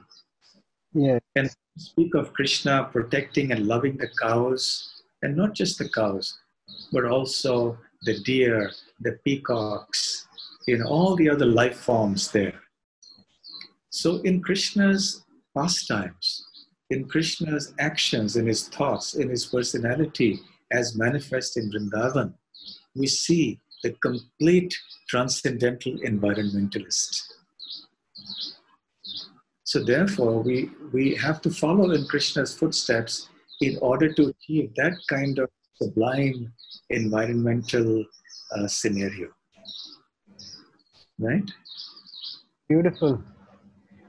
There's uh, one devotee who's written a paper on the same theme of Krishna as a um, Krishna as an environmental, as the as a ideal deity for eco-friendly living, and Yes. uh, he's he takes some amount of metaphorical license. So he says that especially representative of Krishna's capacity to purge the environment of disruptive elements is uh, his Kaliya Leela. Yes. So Kaliya represents, in some ways, we could say market capitalism or communism or materialism, and it was so toxic that even the birds flying above were being uh, killed by it. And then Krishna came and used his potency to subdue and then drive away Kaliya. And then Krishna re- re- restored the beauty and the harmony of the ecology of Vrindavan. So, similarly, if Krishna comes and dances in our hearts, then the the materialistic drives within us that make us do things that have toxic influences they can be driven away and uh, I was also thinking that when you said about sattva and beyond that to transcendence, one thing which uh, many environmentalists also are recognizing is that for people to actually give up consumerism, they need to find non material enrichment. And if we don't bring in God, mere love of nature will not really give non material enrichment because nature is also material. So, one way we could say why merely loving nature is not enough is that as long as we are in material consciousness, we will want material pleasure. And the nature of material cravings are that they go stronger and stronger. And right now, if I am in Sattva Guna and I'm reflective, I may say, okay, I live in harmony with the environment. As Rajas and Tamas start increasing, then my desires will overpower my good intentions. So if one loves Krishna and has some uh, has gets some higher taste in the practice of Krishna bhakti, then the craving that drives consumerism will subside, and that's yes. how also we could say that uh, just loving nature is not enough. Rather, when we love Krishna, then we will be able to act out our love for nature, act on our love for nature. Otherwise, we'll not be able to sustain it your love for nature will become more meaningful, more concrete, more substantive, more happy when you love Krishna. Yeah, that's true. I read one more. He's a Bhakta scientist, Bhakta researcher. He he contrasts when I mentioned earlier that uh, India doesn't have much of a history of environmental protection or activism. So he, his, he has an interesting theory. He says that in India there is the Bhakti worldview and there's the Advaitic, Advaitic worldview. And the Advaitic worldview in some ways holds that this world is an illusion. And the most important thing we need to do is to transcend this illusion. Whereas the Bhakti worldview holds that this world is also an arena for service. This world is also a manifestation of krishna's energy. So uh, so if environmental consciousness is to be fostered in india maybe the bhakti worldview would be more conducive for that than the advaitic worldview. And if if now if you consider worldviews uh, there is this world and there is the other world that is the spiritual world now, one of the defining differences between modern and pre-modern times is that in the pre-modern times, almost everyone in whichever part of the world they lived, they understood that there is some other world, and that is life's ultimate destination. Whether Christians had their heaven, Muslims had their Jannat, and Native Americans and Native Australians, they also had some understanding of another world. And this world is like a place of trial and travel. We have to live through it. So now the scientific revolution and the subsequent uh, evolution of human thought led to the rejection of the other world as a mythology. And then through technology we got the hope or the dream that we could make this world into paradise itself. So we don't need any other world. We will just make this world into paradise. So we so now in the attempt to make this world into a paradise we have in some way started making it into hell. Because our efforts are backfiring. And uh, if we consider like a four quadrant diagram you know this we have this world the importance of this world on the x-axis and the importance of the other world on the y-axis so if somebody says neither this world matters nor the other world matters, then they are basically nihilistic. They can't do anything. Then we have the materialists, and within that we have communists, capitalists, and to some extent we have even environmentalists. They say this world matters, but the other world doesn't matter. Or the other world doesn't exist, it doesn't matter, whatever. Hmm. Then we have the we have the Advaitins, that the other world matters, but this world doesn't matter. And then we have the bhaktas that this world matters and the other world matters also. So in some ways, those who say this world matters but other world doesn't matter, their own desires eventually will not be will not let them take care of the world, especially because now that we have the power to control the world, or at least we think we have through technology. So to have power and then to not use power requires far go greater self-control than to not have power at all. So when people throughout history had some level of materialism within them, but when there was no technology, we really felt that nature is much more powerful than us. We can't do much about it. Mm-hmm. Now through technology, when we think that mm, yeah, maybe we can subdue nature. So then to not do that without having any higher purpose is not going to be very easy.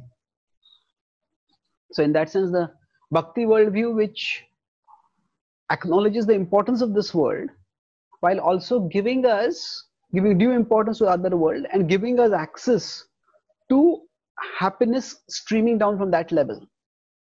That is the best way to actually sustainably take care of this world. Yeah. Actually, uh, as we discussed in the earlier part of our, of our chat, that till a few centuries ago, the culture of spiritual ecology was very much prevalent and pervasive, even in Indian villages. So that culture was there, so there was no need for any kind of environmental activism because the environment was being automatically looked after. However, then there came a time when there was degradation happening. And for a while, you know, it, there may have been uh, intermittently here and there localized cases of activism we're not aware of. But in the last uh, century, in the last few decades, we've had several such uh, people coming up. You mentioned one in the beginning, Chipko, the Chipko movement mm. of Sundarlal Bahuguna. And there have been several like that. There have been many, many instances of people now uh, really campaigning for maintaining the purity of the river Yamuna, or protest, some protesting against the destruction of the hills in Brajabhumi for mining and so on and so forth.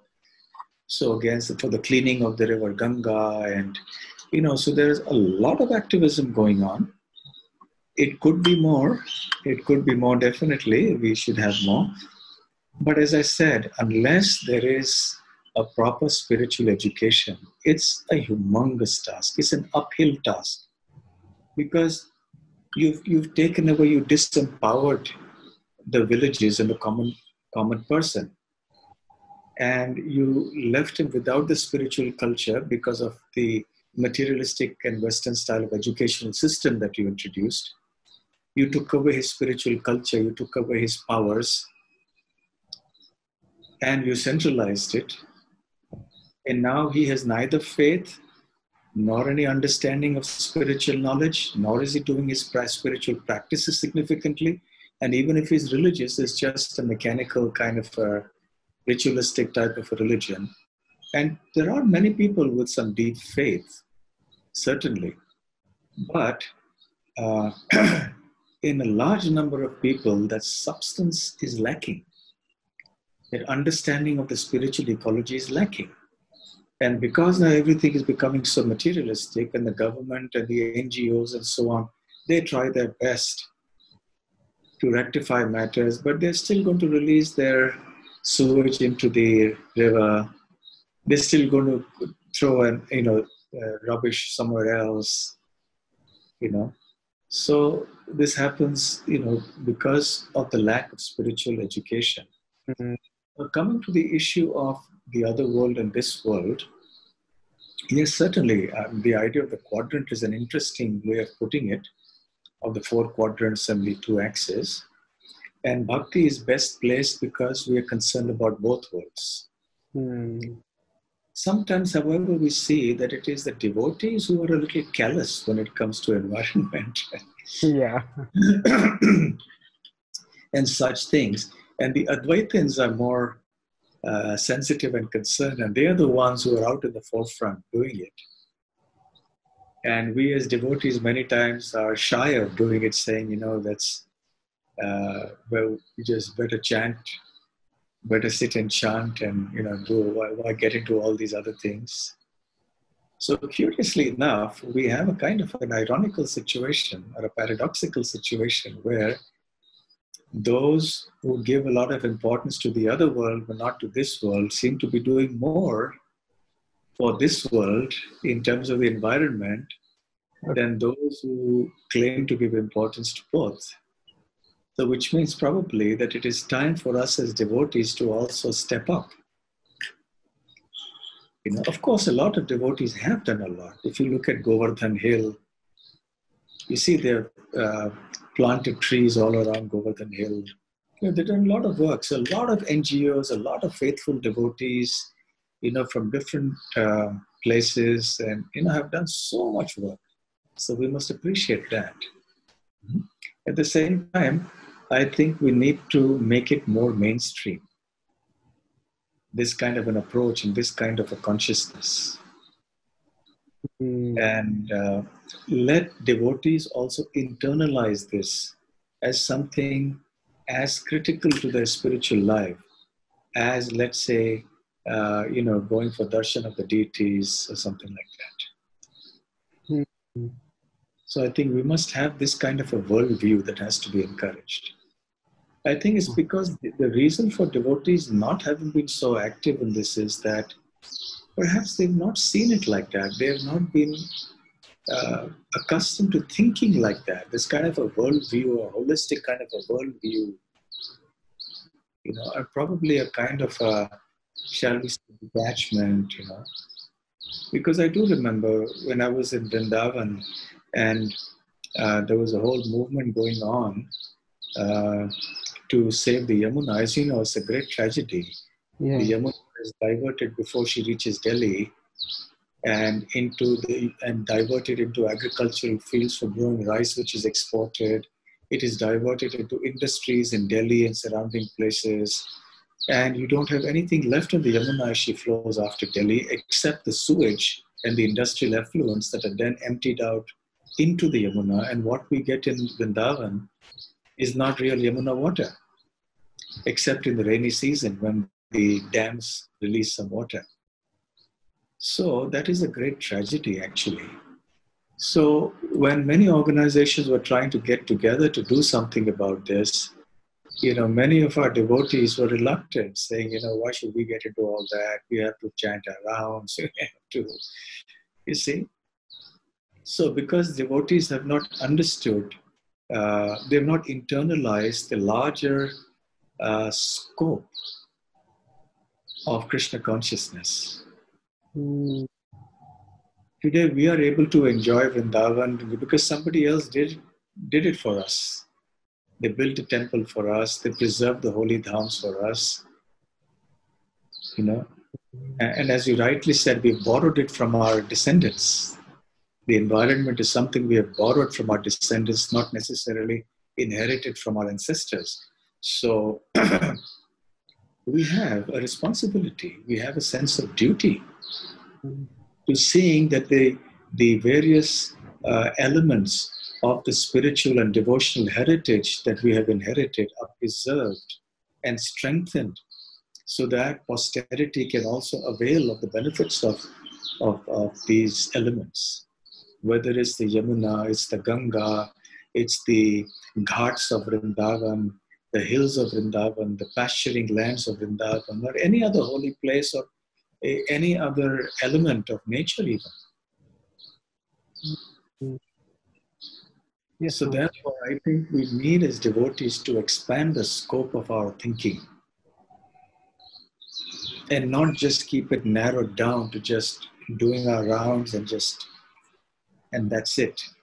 That, of course, is the foundation, that's the fountainhead of all our spiritual convictions and activities.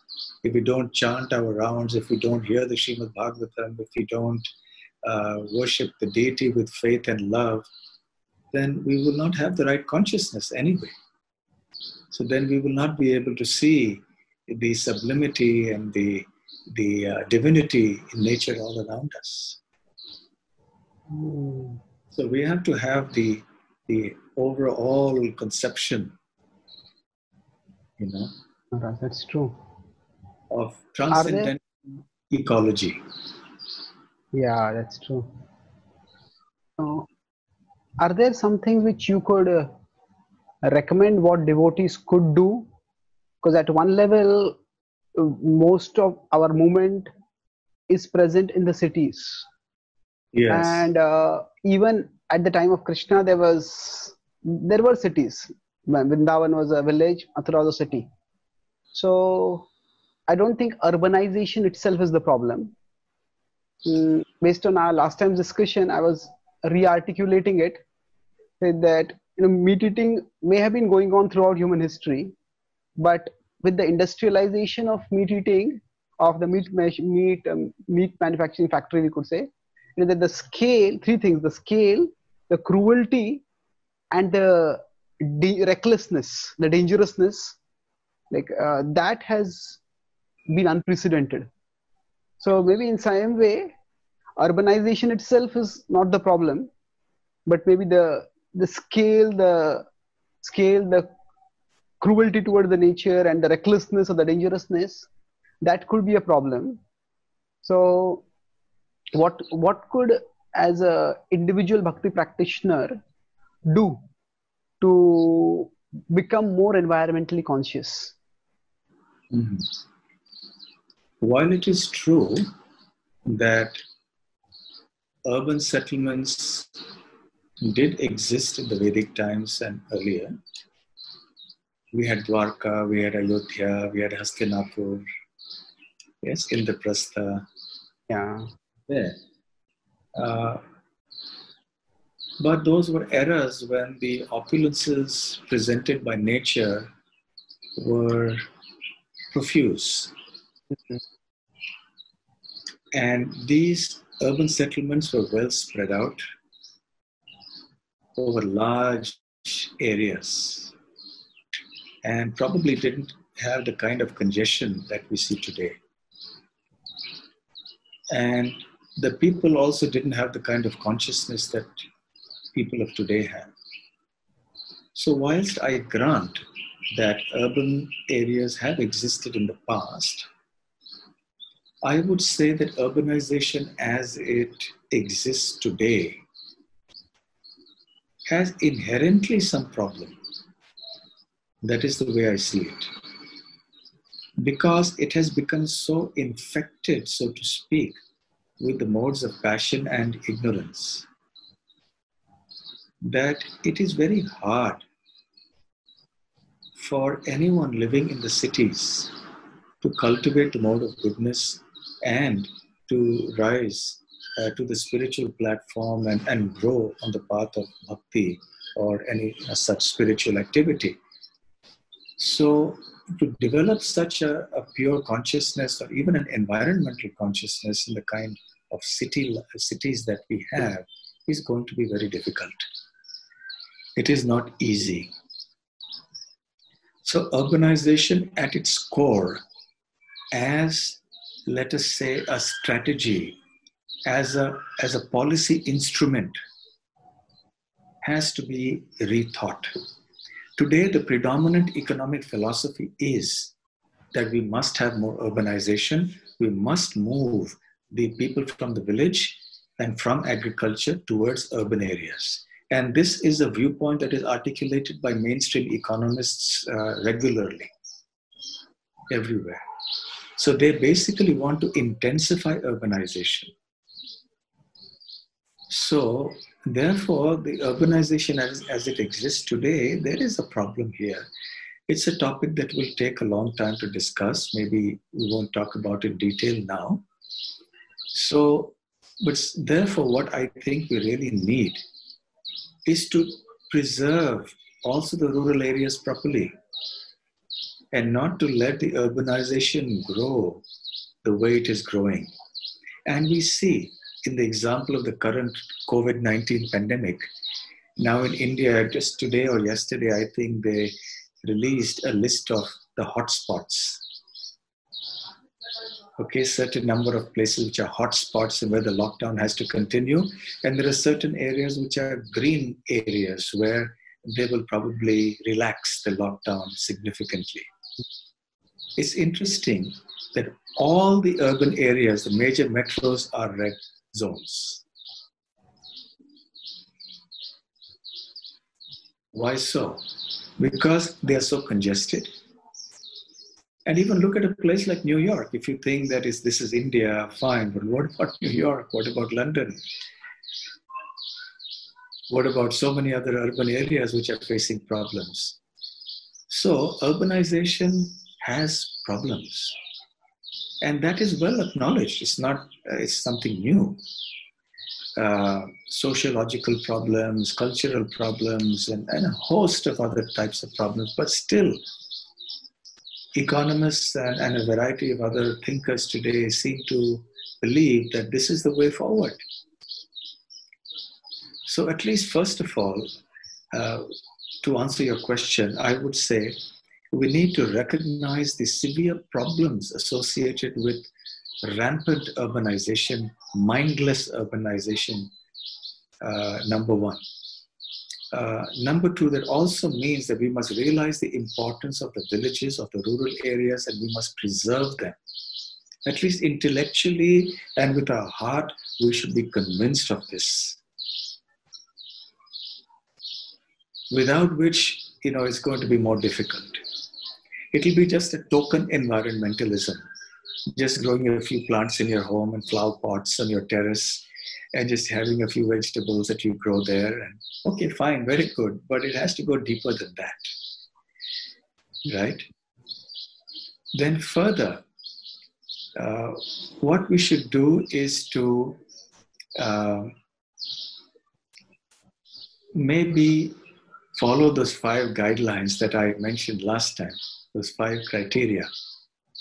You know, when we spoke of veganism, those five things that we spoke about yesterday, uh, um, the other time, other day, when we were discussing veganism, uh, they were essentially one that what we utilize from nature, from the environment, or from anywhere has to be, I'll repeat that just to refresh memory and for the benefit of those who maybe didn't uh, see that discussion.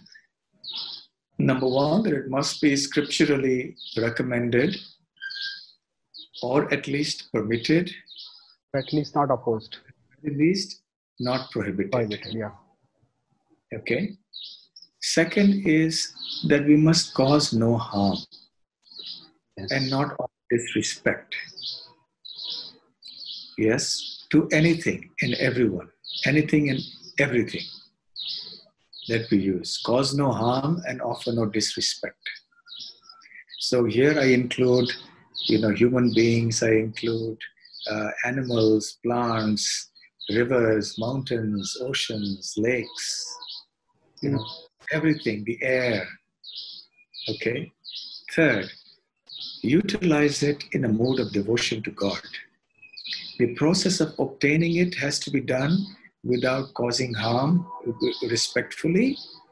And the utilization has to be done with devotion, understanding that these are all gifts of nature. Understanding, uh, to quote uh, one of the sentences of Prabhupada from his purports, one of my favorite lines, uh, that human prosperity flourishes by the gifts of nature and not by gigantic industrial enterprises. Right? So, recognizing that actually our happiness, our prosperity, our longevity, our success, you know, all depends on the gifts of nature. We must realize that we must use them not only without causing harm to them, but we must uh, love. It must be done with love. Uh, the cows must be milked with love. The crops must be sown and harvested and utilized with love And ultimately, they must be offered to Krishna with love. That was the fifth. Uh, and the fourth element was use in moderation. Whatever you use, uh, use it moderately. Um, don't overconsume. So, this moderation point is there to counter or to take care of this consumerist mentality. So, and the last one, offer to Krishna with love. So, obviously, you can't use anything which you can't offer to Krishna and which is not scripturally uh, authorized. So, therefore, uh, in terms of what we can do and what we can't do, number one, let us avoid using anything that is not scripturally authorized. Therefore, that means give up alcohol, give up meat, give up gambling, give up illicit sexual activity, give up this, give up that, right? All of these things. Second of all, it also means that whenever we utilize everything, anything, be conscious now that you don't cause any cruelty to it. The other day, I, I was just reading the news, and there was some uh, article about some young man in India, one of the cities, was arrested, or a group of young men, because they whirled around a puppy and they smashed him to death, the puppy. And such cruelty coming up because they just they just have no conception of any uh, you know compassion or you know some refinement of the intellect that doesn't exist. So we must be very careful to not act in a cruel way towards animals, towards plants and trees and the air, towards the soil, etc., etc. Mm-hmm. Uh, even in our neighborhood here where I live, people were cutting down a tree and the, the branches also. And, and the reason for that is because the tree was shedding leaves and those leaves were falling into their building premises and it was a big headache for them to clean those leaves every time. So just imagine they were cutting trees and cutting off branches because um, they didn't want the leaves to fall in because they didn't want to do the, uh, the, the task of cleaning up, you know. So we have to be very kind and we, we can't be disrespectful and can't offer cruelty to anything and anyone. So it's a question of cultivating this mindset wherever we are. And the item of moderation means that we should not succumb to the consumerist uh, propaganda. Today, uh, modern economics thinks that prosperity and success comes or is measured in terms of how much you consume and how much you own. Whereas this, the Vedic viewpoint is that prosperity and success and happiness is measured in terms of how little you own and how simply you live. So, the modern urban lifestyle, the modern materialistic lifestyle is oriented towards flashy living, opulent living, overconsumption, whereas the Vedic lifestyle is oriented towards simple living, consuming as little as possible, as much only as is required, not flaunting one's wealth.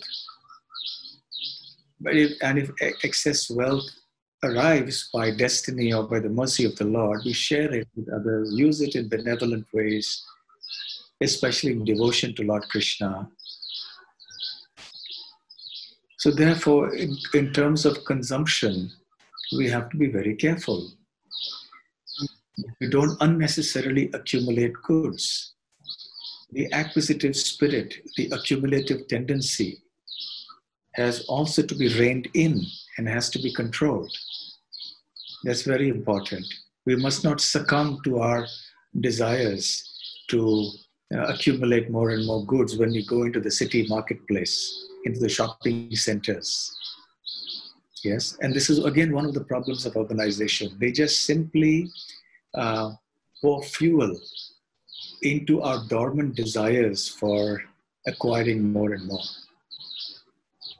So, because these shopping malls and these roadside shops, the way they are decorated and uh, the uh, goods are displayed in such a tantalizing manner, and the way the advertising is done, and the way the whole social kind of mindset is, the social fashions, and what's cool to do, and what is desirable. So it just induces everybody to consume more and more and more. So there's no question of any environmental friendly living if one uh, is uh, of this mentality. So one has to guard very much against this consumerist mentality. One has to try to believe in the principles of simple living and high thinking. Simple living refers to reducing your needs, your wants. There's a difference between wants and needs. Living simply, minimize the number of clothes you need, just as much as you really need. Your paraphernalia at home, don't just accumulate more and more. There's this little uh, thing that I keep saying when people ask how much is enough you know how much is enough to accumulate in terms of uh, goods that we have and i don't know whether i mentioned it in the discussion last time but anyway because it's relevant to the question you asked i'll just say it again and it's practical that if the desire arises in our mind to acquire a certain good a certain item we should ask ourselves the question is it necessary? Is it required? If the answer is no, that ends the matter. If the answer is yes, ask yourself a second question Do I really need this item? If the answer is no, fine, matter ends there. If it's yes, ask yourself a third question do I really, really need this item? If the answer is still a yes, then okay, go ahead and buy it. Provided you also fulfill the other four criteria. That the item that you desire to obtain is, is not something that is prohibited by the scriptures, that it is that you've not obtained it by any violence or cruelty or disrespect. Yes, and also that you utilize that item lovingly when you obtain it, and before you use it, that you offer it to the Supreme Lord. So that's another tip that we have to reduce the uh, consumption patterns that we have and reduce the wastage. Vedic culture essentially was one where there was no waste. Today, our consumption patterns are of such a nature that high consumption means high wastage. Yeah. Therefore, one of the means of judging economic advancement and prosperity in economics is the garbage disposal index. The more the garbage that you've disposed, the more prosperous you are as a society. Oh, okay. Whereas that's the quite a tamasic way of looking at it. Yes, the Vedic culture was the Vedic culture was you know, first of all, there's nothing called waste. It's all something that is uh, a part of a recycling process. So whether it's paper, paper or cloth or wood or utensils and metals and so on, you know, it could be recycled. It could be reused, right? And then the other things like, all right, yes, try to use uh, items that are organic, try to have your little rooftop uh, or your veranda, little garden, and so on and so forth. Support uh, uh, activities and ventures that are of this sort, especially you know those types of communities and projects that uh, try to establish self-sufficiency. Hmm. So these are some of the tips that I would say it's a combination of mindset plus practical actions to do. There are many more, but I'm just giving some of them right now. Thank you, Maharaj. Yeah, I think within within urbanization also we all can make it less toxic by yeah. adopting various practical measures. And yes, maybe maybe you can conclude by speaking a little bit about you mentioned about projects for eco-friendly living. Now you have been you have been you have pioneered a project Gokul Dham near Belgaum. Would you like to speak a little bit about that project and uh, your vision, Okay. how it is coming up? right. Gokul Dham, it's uh, it's envisioned as a self-sufficient uh, Vedic eco village project, a self-sufficiency farm project, uh, being inspired by the teachings of Srila Prabhupada. And the idea is to have a community of devotees that lives there, following the principles of uh, simple living and high thinking. So it's work in progress. We have a long way to go before we can attain the target of self sufficiency in all respects, or at least in most respects. So our devotees are living a very simple life there. It's about 40 kilometers from the place where I stay, the city where I stay, the town, Belgaum, in the state of Karnataka in India. And um, the devotees there don't use electricity. I think that is among all the projects in our movement.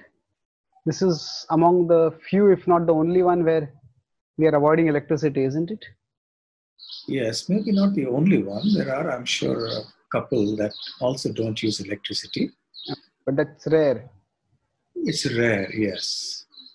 Uh, but we are a little we are, we are a little more rigid when it comes to uh, trying to live simply. So we try to not use uh, plastic, although to some degree, some sometimes it's unavoidable. But our attempt is to find substitutes in course of time. So eliminate all the products of the modern industrial civilization. You know so industrial we, we try our best to avoid using industrial materials uh, industrial products and so on. No chemicals certainly.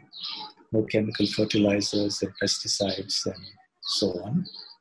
Uh, we also don't use naturally no petrol and diesel uh, although we do travel to the project in vehicles that are that use petrol and diesel uh, but within the project, we don't use that. We use natural sources of energy, uh, including for cooking, for water lifting, and water transportation, and such like. For lighting, also. Um, we try to grow our own food. Uh, we haven't attained full success yet. Vegetables, we're almost quite there. Uh, but grains, it will take a while. We're struggling with water, self-suffici- self-sufficiency. So once we have that, then we will go on to this. Uh, so that's the kind of life, very simple life, very rustic. With how even the housing materials are basically non-chemical, non-industrial, no cement, steel, plastic used in the construction of the housing, shelters. We have a small little temple there, which is within the ashram. Altar is also made of stone and mud and limestone, and so on. So we have cow, and they graze. So that's a little description of the Gokul Dham project. I have been there and uh, I could see the devotees there are very inspired. Many of them are uh, using their in, their engineers by background. They're using the engineering to come up creative solutions for local generation or local production of things. And uh, it seems that it has uh, created a significant awareness, at least in the nearby areas of Maharashtra and Karnataka, where people come to visit and see that whether such a project is actually possible. It's they are quite uh, quite amazed to see uh, people choosing to live like this voluntarily. Because most people as the trend is want to live the leave the as I consider primitive villages and go to cities but to see young, educated, intelligent people voluntarily choosing to live lives of simplicity and spirituality, it uh, speaks volumes for many people and makes them rethink their priorities in life.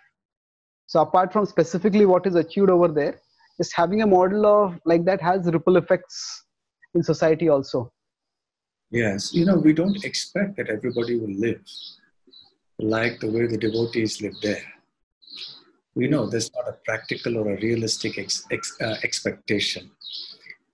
But what we want to do is to be like a beacon light for the world, to send out a message to the world that you don't really need all the things you think you need to be happy in your life and to be prosperous. We want to get people to think about what real happiness is and what are the sources of happiness. We want to redefine prosperity and success. And we also want to make people experience uh, a little bit of that joy that comes in living in such a sattvic atmosphere where there is which is based on devotion to krishna and uh, simple living long way to go, but nevertheless, it's the beginning. It has come a long way also. It's a long way to go, but it has come a long way since started. Yes. And and I hope that they can more and more devotees and others also feel inspired to establish such projects and work seriously on that. But it needs a lot of commitment. Yeah. It needs also a very clear vision about what needs to be done. Mm-hmm. Yes, Maharaj. So environmentalism is happening naturally there because we're learning more and more about how the ecological balances happen. You know, living on the land is itself a massive learning experience. One understands how that local ecosystem functions. And then one has to blend into that rather than uh, superimposing our conceptions there, which to some degree is happening even in our case because here we have sort of intruded into nature, into spaces that were probably earlier being taken up by animals and so on. So, to some degree, we are also guilty of that intrusion. But we hope it is not to a very significant degree, and we hope that by this we can um, create a prototype or a kind of an example that will be inspiring to the world. Yes, Maharaj. We are walking your talk in this specific sense by pioneering a project and um, so if devotees want to know more about the Gokuldham project, is there a website where they can visit or is it on the ISKCON Belgaum website or? Well, uh, a little bit but I have consciously not promoted it in a okay. big way. Okay. Uh, for the simple reason that you know we have a few devotees there, a small team, and there is a lot of work to be done there. Okay. Um, so we want to have a, a, at least develop the basic infrastructure like water and a few things like that and food and make arrangements. By the time we are ready to receive more and more guests we already have many guests coming in. Mm. professors bring their students environmentalists come in groups and you know school children come in with their teachers and general uh, people who are curious to know what we're doing they come in. Our devotees from belgaum and from other cities they come to see so we do have a lot of guests anyway, uh, but I think we'll wait uh, till we have set up our infrastructural oh. situation there in a better way, at least water especially. Okay. Water and food and, and some further living facilities. Yes, that is true. Yes, Maharaj. I think Prabhupada, yeah. when you are establishing Mayapur also, find they should not expect to find very wonderful uh, you know cottages and and things like that it's it's very simple it's beautiful but it's also very, very simple. Yes. We've covered a lot of territory, but I just briefly try to summarize. So we started about uh, started with the origin of environmentalism. That all in some ways it is because of anthropocentrism coming from Christianity. In many ways, it is also materialism coming from uh, rejection of God and the belief that technology gives us the power to do whatever we want in nature. And through industrialization, uh, that became very strong. And we differentiate between environmentalism, which is a leftist political activist movement with genuine concerns, but also embroiled with politics, whereas ec- ecology or eco, eco- ecological concern or ecosystem that will be much more localized and it, it can organically Can I interrupt for one moment? Yeah. Uh, no, I would. I wouldn't say that all forms of environmentalism or environmental activism are uh, leftist in nature. Some of them certainly are. okay But if you look at the example of Sundarlal Bahuguna and the Chipko movement, yeah his environmental activism was based on his spiritual beliefs. yes of course yeah Mr. Agarwal, who was campaigning for Mother Ganga, so his activism was also based on spiritual beliefs. yes that's true The Western models of environmentalism are based on the left left wing kind of approach. Yeah okay Indian activists, the homegrown Indian activists, I'm not speaking about those Indian activists who are influenced by the Western approaches. Hmm. Homegrown, uh, you know, uh, environmental activists here of the kind I've mentioned, they are not left of center.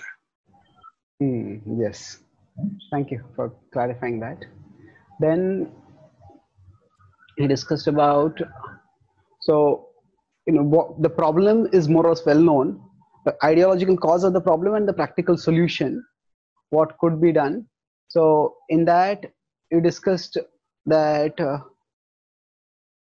when we we may want to take care of nature but just the attempt to do that is not likely to work because the exploitative mentality will come in. You talk about fear desire duty love. And then you mentioned that when we bring god then the environmental activism becomes sustainable. So these are associated with three modes. And uh, we get non-material enrichment through the practice of uh, bhakti which can free us from the consumerist mentality which is the cause of environmental problems. And then in, in, in philosophically speaking bhaktas care for both this world and the other world. But practically we might have a more insular attitude where we don't really we're not so socially engaged. And Advaitins who don't care who consider the world to be illusion actually may care for it more. So we need to become more become more aware of what bhakti means. And when we care for krishna it's like if we respect Srila Prabhupada, we respect his spectacles his glasses. So similarly we care for krishna we need to care for his nature also and then as far as what could be done at a individual uh, by devotees we talked about those principles you know what do what is even if we are living in an urbanized setting we we recognize the importance of villages and try to preserve it as much as possible. And by living in the urbanized settings we make it as less toxic as possible by doing what is i try to create a rhyme or a san- sanction then uh, sanction compassion moderation devotion there's one more you mentioned uh, Yeah. five factors Love, okay devotion, that is offering with devotion, but when you try to. okay lo- working with love no, yes. no cruelty, no cruelty. Uh, that was compassion and then use with you, I mean, with love and devotion. okay so use with love and devotion and offer in devotion they're two different things right okay. So that way we could within our particular places we can make some become more environmentally conscious. And of course there are devotees who are trying to do this and they can be supported in whatever way is possible. So we as actually Bhakti theology has a way to uh, can integ- can be, provide philosophical foundation for grounding environmental concerns in a holistic worldview. And if that opportunity is tapped, then bhakti can actually do a lot of good, not just for the environment, but for reawakening spiritual consciousness in the world through environmental consciousness. Yes, very nice. I think we could summarize it in in two words: bhakti ecology. Bhakti ecology, yes, Maharaj. Because ecology deals with the relationships of living entities uh, amongst themselves and with the with the uh, other the, the inanimate world. And bhakti understands the conception of the relationship with God and sees the creation with respect to God and with Hmm. each other. So that gives a more a deeper perspective. So we, we just don't want to be environmentalists. We just don't want to be only plain ecologists. But our approach is a bhakti ecology. Yes. Uh, you know, something like that. So I guess that will be something very wholesome, very holistic. Thank you very much for your time and for joining. It's Okay. always uh, illuminating to have your association. Yeah. So thank you very much. And I hope we'll meet again soon. Yes, I look forward to that. We'll all look forward to that. We and our viewers.